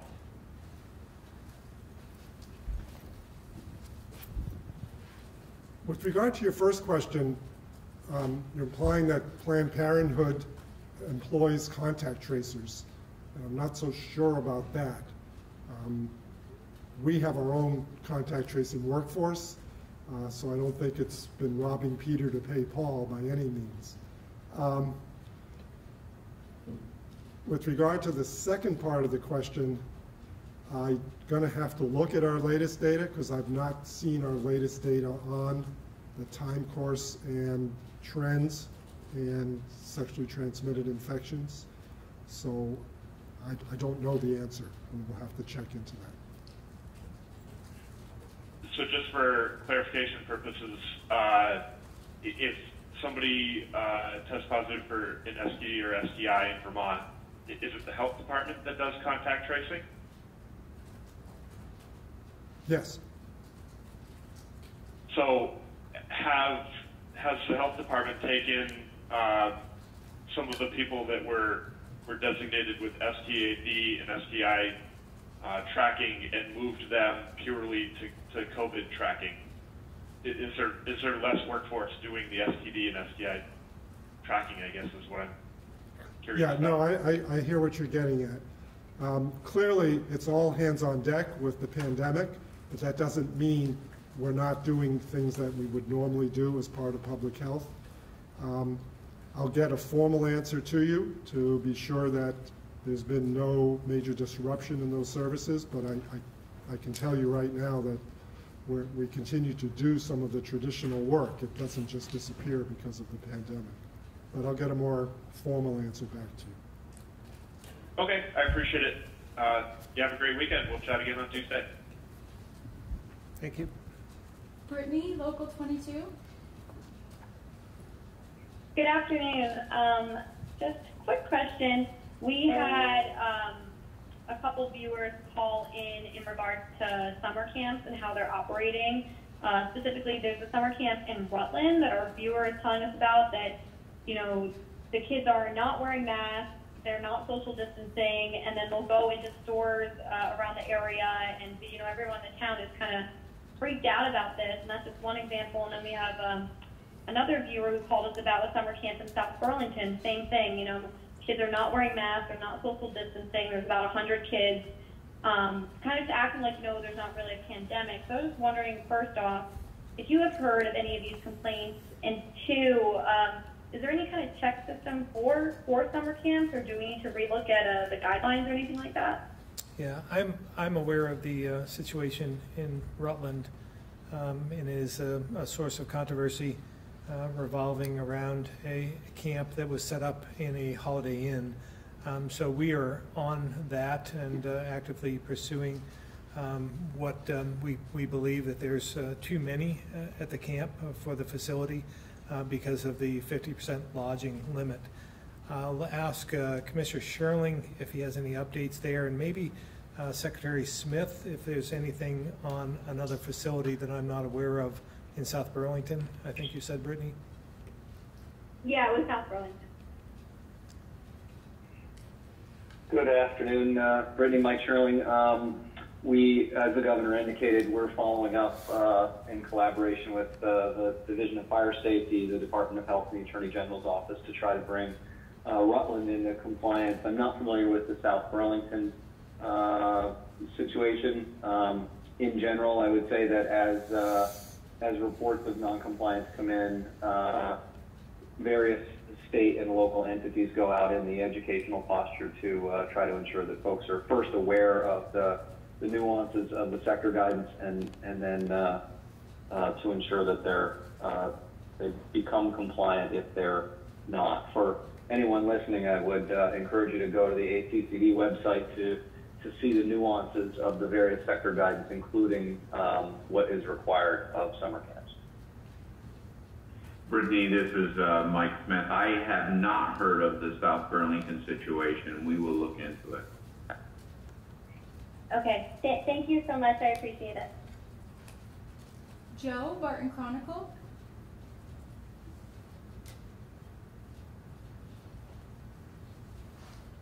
Hello.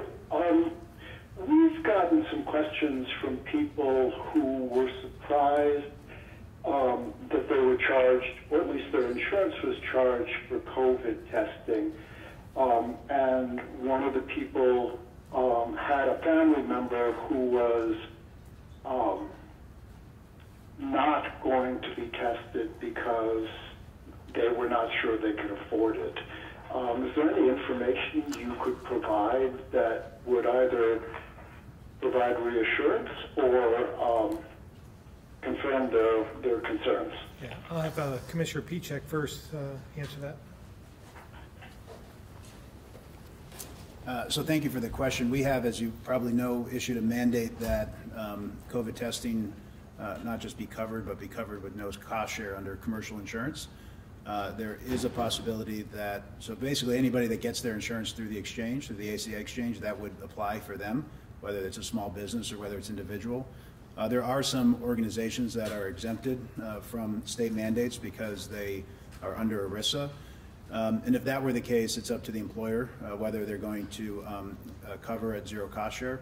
But what I would recommend um, is certainly for those individuals to reach out to our department, our consumer group uh, at the Department of Financial Regulation in our insurance division, um, because at least the coverage of the test should have been there, if not the full cost, so that there was no deductible. So uh, we'd be really interested in learning more about that.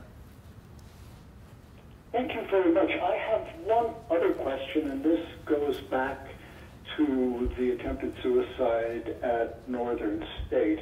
Just to be clear in my own mind, um, was the person in question being housed in one of the um, separation cells that are up near the um, uh, near the, near the central guard post in uh, the main building. Um, I know there are a a row of them that people coming into the facility normally spend time in for a period before they're housed with other people. And, and is that where this gentleman was uh, being held?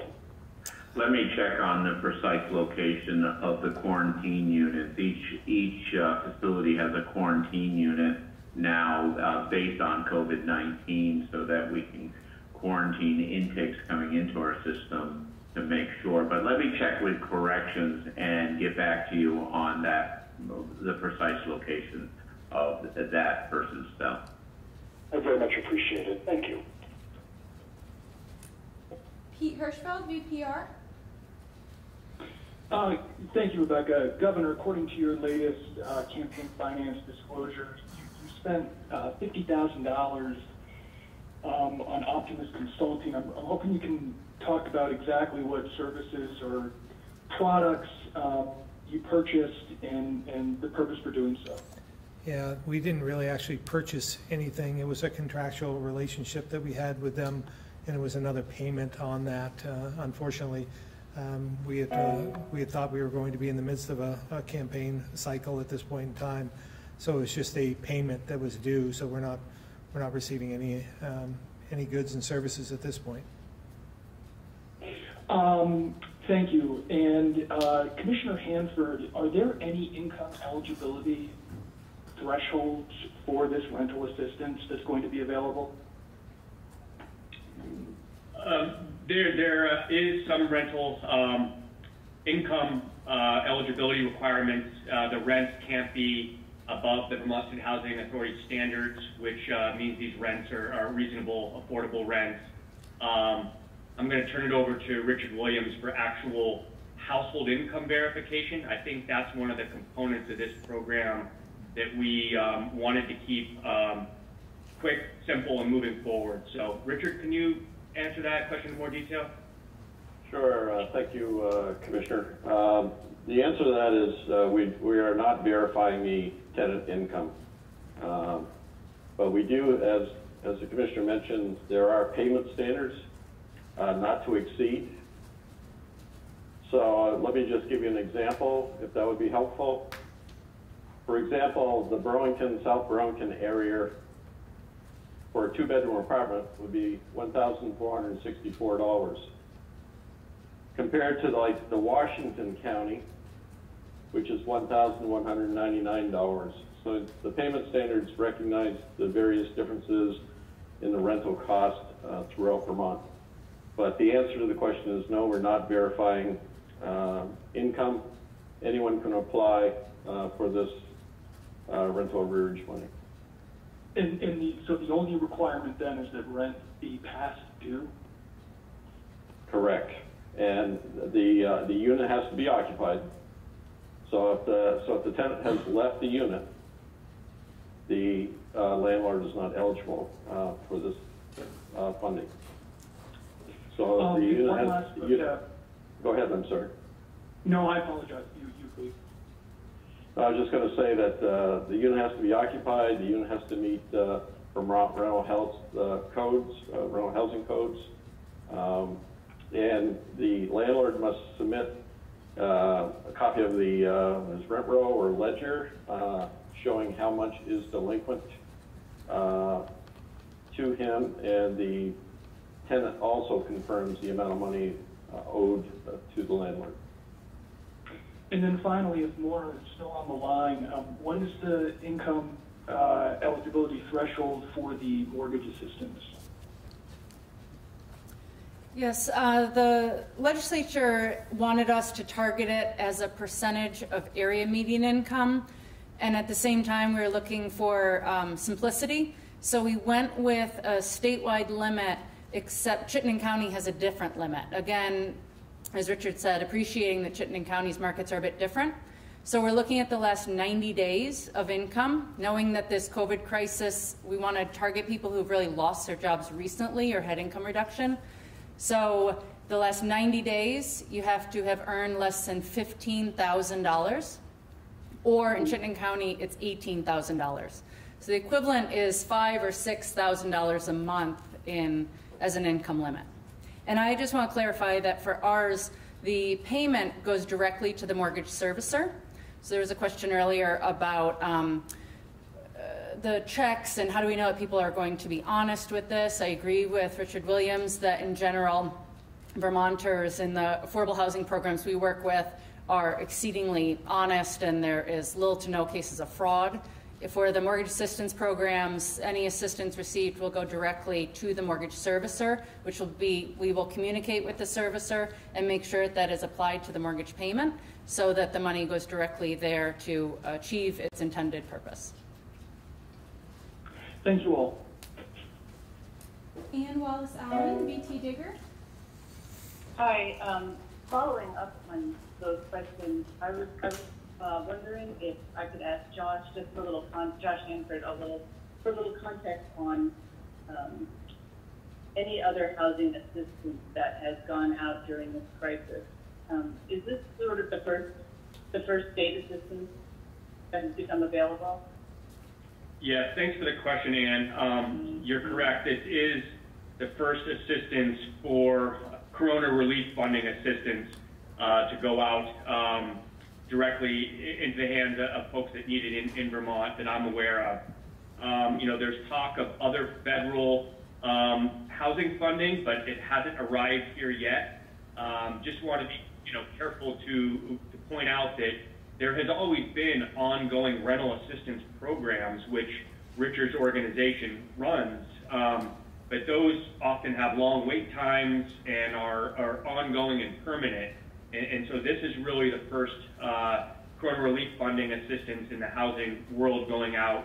And we've looked across other states at what they've done, how much uh, money they put into similar programs, and you know we found some states that have done a lot less, and some states that have done a little more. And we felt that uh, the, the percentage of assistance and the design of these programs was right in, in a, a sweet spot um, from what we've looked at across the whole country. Do you guys have any idea how many people it might affect? Um, yes, we had some initial statistics on that, and the, the numbers have changed a little bit as far as what exactly is available. And of course, um, depending on how many months of assistance someone receives, uh, you know, a landlord, if it's one month versus four months, and, and same on the mortgage side, will determine how many people, different households actually receive this assistance. Um, I think Richard and Maura both have sort of an, an estimate of sort of an, an averaging, if you will, of, of the number of households this can help. So I'll, I'll ask them to, uh, to, to elaborate. Thanks, Josh. Uh, Thanks, Josh. You want me to go first, Josh, on that, or is Maura? Go ahead, Richard. So uh, there's, uh, we've seen uh, different statistics. In Vermont, there's roughly about 85,000 low-income uh, household renters. And we've been predicting, you know, potentially 10% of those could be delinquent. So approximately maybe 8,500. We've seen some high numbers. I know Josh, uh, excuse me, uh, Commissioner Hanford, and the governor's proposal was looking at approximately 13,500 households. And we've also seen reports uh, published by the uh, Federal Home Loan Board that it could be as high as 21,000 uh, Vermonters that could be uh, seeking rental arrearage. So, uh, sorry I can't answer specifically, but you know until we start to see data, uh, that's sort of the high and low that we're looking at. And, and this is Maura. For the um, mortgage assistance program, we know from census data that there are over 45,000 homeowners in Vermont with mortgages whose incomes roughly fall under the limits that we've set. And we also know that several uh, mortgage lenders have reported anywhere between 7 to 10% of their mortgage portfolio has households who've taken advantage of the forbearance agreements that are available to a lot of mortgages due to the COVID crisis. So we are thinking, uh, and we'll know more as of Monday when the application is open, but that out of the 45,000 eligible households, if 10% apply, that's when I say things like, I don't think that the $5 million, while we're very happy to move it forward and it's going to help many Vermonters, I'm not sure it's going to be enough to meet the full needs. Got it, thank you. If I could follow up on that uh, one more. Uh, in early April, the, uh, there was about 600 pending uh, court cases in Vermont court uh, for delinquent rent. Uh, we're hoping with our program that we can clear those, uh, working with Vermont Legal Aid and Vermont Landlord Association, uh, so we can clear those and uh, make it a little bit easier on the courts and the judges. So you think those 600 pending court cases um, were COVID related in early April? Uh, they were, uh, as I said when I uh, spoke about this program, uh, it doesn't have to be exactly COVID related. There could be arrearage, uh, and the idea is that we don't want an eviction between the, uh, the first of March and, and the end of December. So it, it would be eligible to participate in this program. Um, and that falls within the guidelines of federal funding that you guys are using? Yes, yes. Uh, we've had an opinion on that, a legal opinion on that. And I could add that, you know, with the eviction moratorium um, that was put in place early on, you know, many of those cases were, uh, you know, pending before the pandemic started, and it essentially froze those from going forward. So there is a nexus back to the, to the, to the pandemic and uh, um, effects of it. Um, and Richard's right that the uh, opinion here was that thrusting someone into eviction and possible homelessness during this pandemic from past due rent is eligible because it is a nexus to COVID. Um, was that Commissioner Hanford? Yes. Yes, it was. Thank you. Chris Roy, Newport Daily Express. Yes, good afternoon. Could you uh, briefly speak on the legislation that uh, you've signed, Governor, uh, recently, S35 and um, H966, excuse me, S350 and H966 regarding um, funding to help small businesses in Vermont? Um, Chris, are those all, I don't, I don't recognize all of the numbers. Are those all COVID-related um, recovery bills? Uh, yes, they are. They're supposed to help businesses who've had financial difficulties during the uh, through COVID. Yeah, I mean, we've, we've enacted, as we uh, spoke about earlier, um, we've, uh, we put those into place, uh, and those have been activated, uh, taking applications as of Monday. Um, And we've seen uh, quite a number of people and entities that have signed up, and we'll continue to evaluate and put money out the door just as quick as possible. Um, From my standpoint, again, um, we need to do everything we can uh, to help protect these businesses uh, because uh, without the businesses, they don't provide the jobs uh, that are much needed. Uh, We still have 40 or 50,000 people on uh, unemployment or, or the PUA system at this point in time. So uh, the quicker we can get uh, these businesses back uh, in, uh, in order and uh, to keep them uh, at, at least uh, um, in a survival mode uh, so that they can provide the jobs necessary when we work our way out of this. Okay, great. Thank you. Tim, Vermont Business Magazine. Hi, Governor. Just uh, following up on that, the PUA and the federal um, assistance to the un- unemployment insurance is going to run out to $600. As I understand, at the end of this month, which is happening pretty quickly, and as you mentioned, there's about 41,000 people still on unemployment. Then you have, of course, the, the housing assistance, which which has been a big part of this discussion here. Uh, that's going to be a that extra six hundred dollars a week for all those people runs out in just a few weeks, it's really going to hammer the economy. Is, is there? Do I have that right? First of all, and second, is there a plan B to uh, make up for that, either here or in Congress? Are you you're aware? Yeah, the, the six hundred dollars uh, does end, um, does end at the end of the month. Um, It is concerning, uh, because I know a lot of families are counting on that for a lot of their expenses. Um, I have heard, um, I had a, was on a call uh, yesterday with the National Governors Association, and there was mention uh, that there is uh, some talk about uh, the possibility of, of having uh, some portion of that. They don't believe that it would be the $600, but maybe another appropriation to help fill the gap. So time will tell. Um, They, um, probably a a great question for the congressional delegation, maybe the Senate in particular, uh, in determining what, uh, what they're seeing and uh, whether they can do this before the break. Is there? I know the uh, the uh, unemployment trust fund is is well funded now, but that could, you know, there could be a big impact. I'm wondering, you know, if there's any modeling or planning regarding, you know, starting on, on August 1st, how to deal with this or not. Yeah, y- you know, in terms of, uh, the PUA will continue, uh, as I understand it, uh, through the uh, end of the year. And uh, so our unemployment uh, trust fund, the PUA is funded by the federal government. The, the traditional unemployment is through our, our trust fund. Our, our trust fund is still relatively healthy. Uh, It's not uh, down, uh, I believe we started out with a little over $500 million. We're at like 324 million now.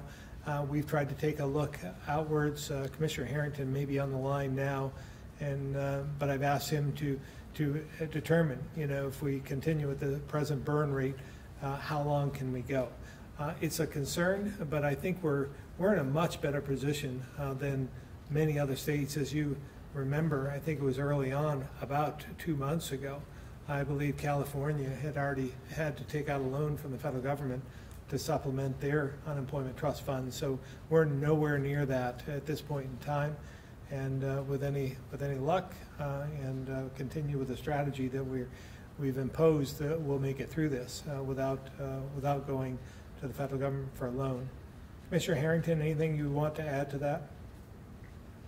I think you were spot on, Governor. Just so um, the people listening know the numbers. We just released numbers for the week of July 4th, uh, and for the week of July 4th, we had 39,089 people applying for traditional UI, and uh, that's a decrease of about 3,300 people from the week before. Uh, for the same week, July uh, week ending July 4th, we had 9,485 people uh, applying for uh, PUA, uh, and that is down about 850 uh, weekly claims from the week before that. So we continue to see, even though slight, uh, we do see reductions in the numbers of people filing weekly claims. As you mentioned, um, the PUA uh, program continues uh, through the end of the year. Um, should the, the uh, $600 FPUC program come to an end.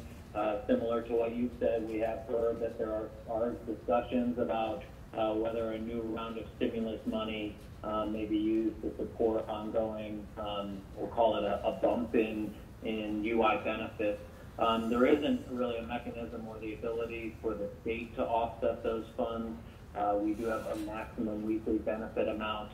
Um, so anything additional on top of that um, would have to be from a federal appropriation. Uh, and as you said, um, you know, while our trust fund uh, has declined uh, since the start of the pandemic, um, we are in a much healthier position than many other states. Our current balance as of uh, July 8th was 313.1 million.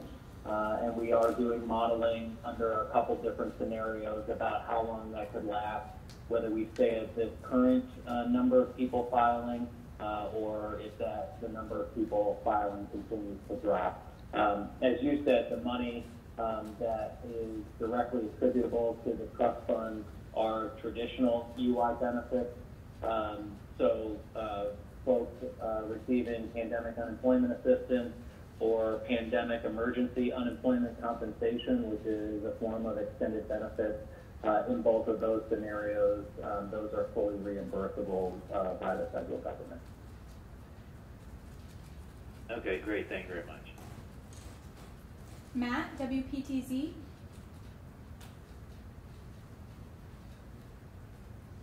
Thank you. Uh, this question is actually for uh, Dr. Levine. Dr. Levine, um, it's been it's been hot. You know, it's the summer here in Vermont, and um, you guys have been encouraging people to wear masks when out and about. And I'm just curious if you have any tips or advice for people who might have an urge to maybe take off a mask. You know, it's pretty hot outside, um, but also you know want to make sure they're not exposing anyone else. I mean, do you have any advice for people just wearing masks in hot weather?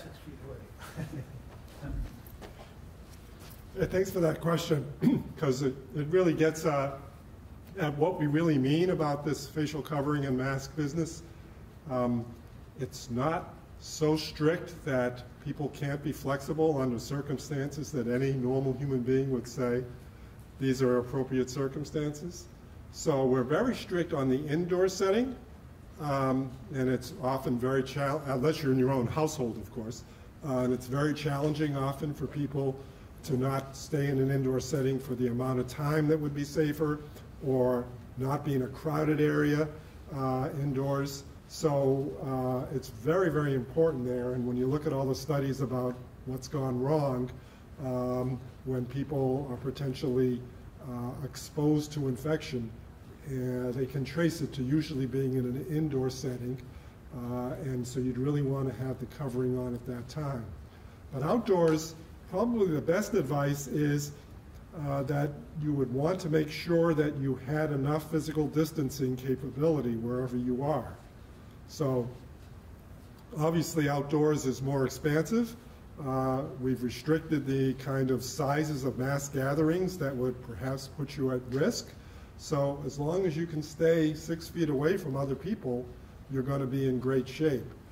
Uh, we do recognize how challenging it is to wear a mask when it can be very, very hot. Um, and so again, uh, we want to be rational human beings and, and understanding human beings who know that best intentions sometimes get complicated um, because of weather circumstances. But there's plenty of opportunity to still have it on at the appropriate time. If you're waiting in line, for instance, at the creamy stand, and not, not everybody is spaced the way they need to be, and you're crowded together there, um, obviously, once you get the creamy, you're going to have to take the mask off, uh, but you want to put yourself in a position where you're not in the middle of a crowd while you're doing that. Uh, likewise, with physical exertion, uh, we are very understanding about the fact that uh, you may need to uh, take the mask off because you're exerting, but hopefully while you're exerting, you're not in the midst of a whole bunch of other people. Um, you're actually either running on your own or on your bike on your own or taking a nice walk uh, with one or two other people that you can be distanced from. Does that help you? It does. You also made me hungry. I might want to go get a creamy next, but I don't think I can. So uh, thank you very much, Dr. Levine. Sure. Lisa, the Valley Reporter. Hi, thanks for taking my question. Readers shared with us a recent Facebook post featuring sponsored content from the Vermont Department of Health urging people to wear masks. I'm wondering whether the Vermont Department of Health is also purchasing ads and sponsoring content in Vermont media that provide local jobs. I'm curious about whether Facebook has devoted any of its resources to covering all of these two and three times a week press conferences. Governor, do you want me to take that? Yeah, why don't you try it, Mike? Okay, um, I, I guess the best answer to that is stand by. We are in a three-phase um, approach to um, what we call a, you know, a mass um, sort of campaign that I mentioned. We wear a mask. I wear a mask because um, the first phase was social media. The second phase is getting out um, this information through um, uh, you know various partners with state government, through state government, um, through uh, all our associates, including businesses. The third phase is earned and paid media. Um, that is coming next week, starting next week as we uh, move forward. So um, I guess the answer is to stand by on that for a local um, local investment. And if I could follow up, what is the plan specifically in terms of spending Vermont tax dollars in the state to support local media outlets? I'm curious why the state would support Mark Zuckerberg at all. And I'd also like to follow up on a letter that the Vermont Press Association sent to the administration seeking to partner with the administration on a mask covering campaign as well as a Get Out the Census effort. Has there been any um, interest in that? I've been interested. I've been interested in the the census. I'll, I'll let others speak to, but certainly the mask campaign. I'm interested in how we can partner. So we'll follow up on that. I've got Rebecca here who can comment on. Uh, Lisa, yes, we have received a lot of press outreach asking for local ad dollars to go to you all, and I have shared the letter you're referencing with our census team. Um, they have a, a, marketing strategy plan, and we're interested, um, but I don't know specifically what if they have an ad budget, so that would be the um, hang up there. But it has been forwarded on to them, as well as the mass well, team that, as Mike just referenced. Thank you. But it seems like if there's money to pay for via advertising, there may also be money to pay for traditional advertising. I don't know that, uh. I don't know that the census team is advertising on Facebook. I don't think that they're doing, uh, paid advertising. Thank you. April, Burlington Free Press. Hi, my question is for Commissioner Harrington. Um, we've been hearing again um, this week about uh, still uh, long wait times and inconsistent answers from call center staffers with regard to unemployment claims. And I just wanted to see if you could give us a progress on how that's going. Um, and my second question is also about um, the appeals process. We're hearing that's taking a long time as well, and I wondered if you could explain why the appeals process is taking a long time. We've heard that some who applied back in March and April are just now being reevaluated for the appeal, and that some people have just given up altogether because they found the process so cumbersome and long. Uh, you speak to that?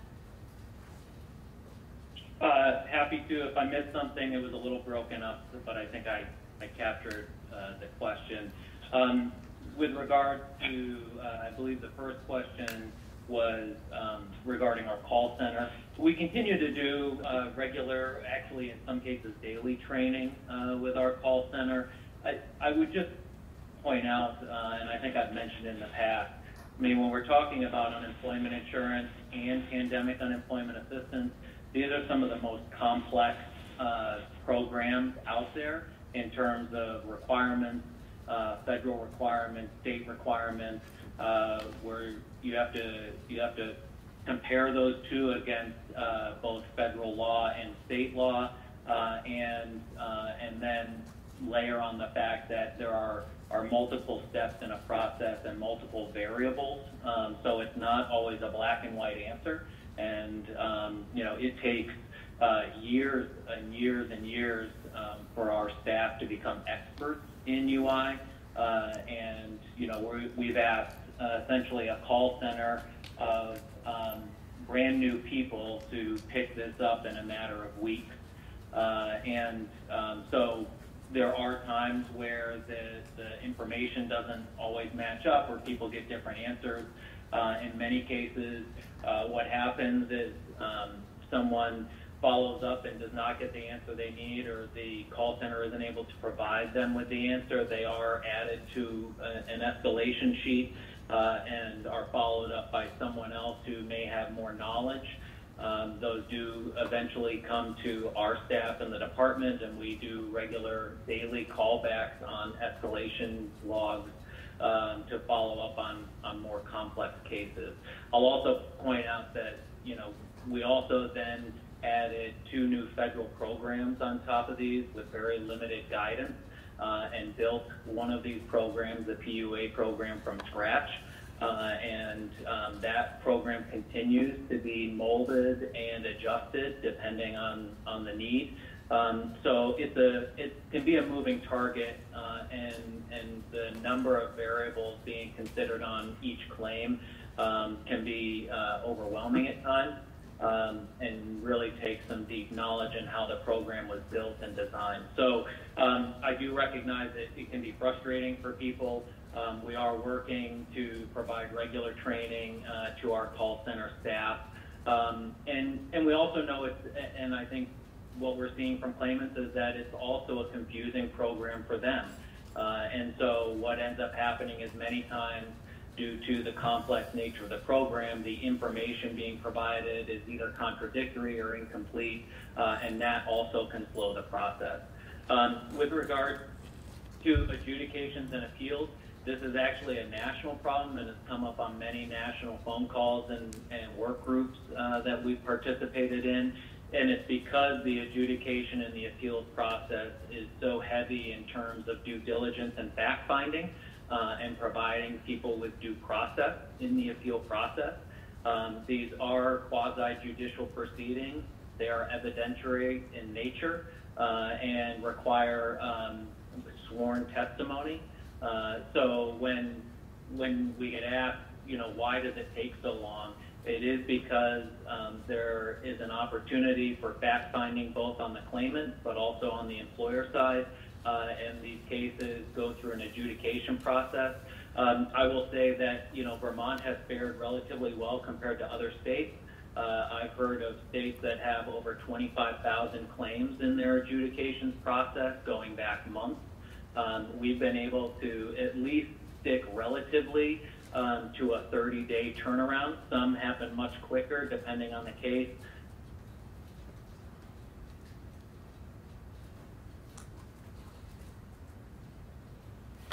Commissioner? I think we might have dropped Commissioner Harrington. Um, we can connect April and, and Commissioner Harrington if need be afterwards. Uh, we have one final question from Patrick at the Rutland Herald.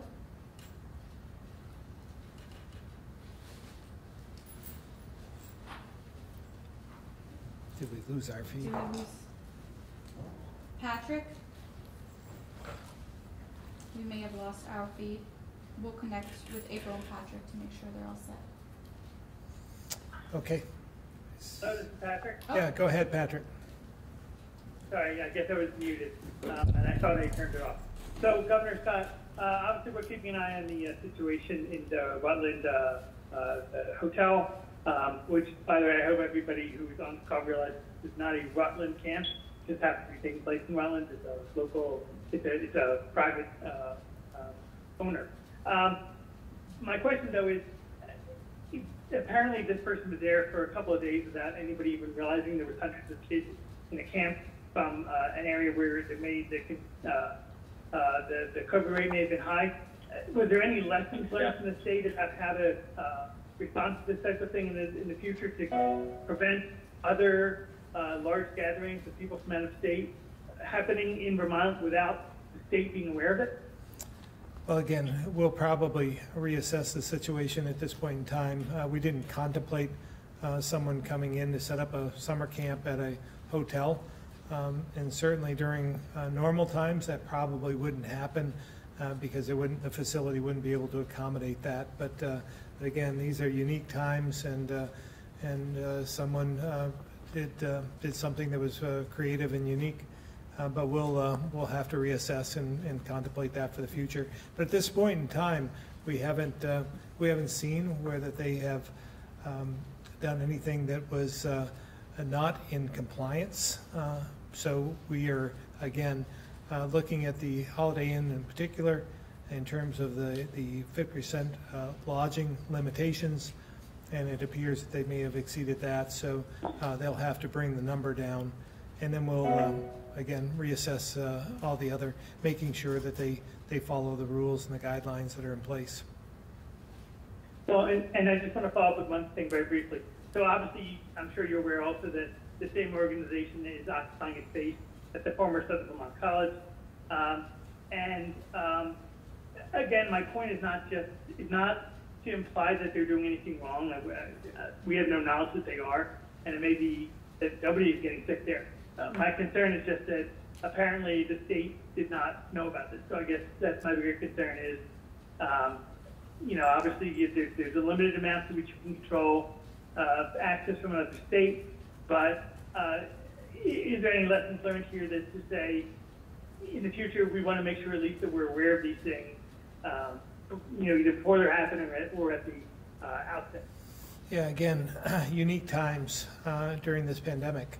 And uh, I'm not sure that anyone would have contemplated this uh, going into this situation or in this period of time. Um, again, I, I'm not sure that it would replicate in the future, but uh, you know, we learn every day uh, about something that we could uh, we could obviously do differently. Um, but uh, but we didn't know about either of these situations before they happened. Okay. Hey, thank you. Uh, with that, uh, that concludes today's program. So, again, thank you very much for tuning in, and we'll see you on Tuesday.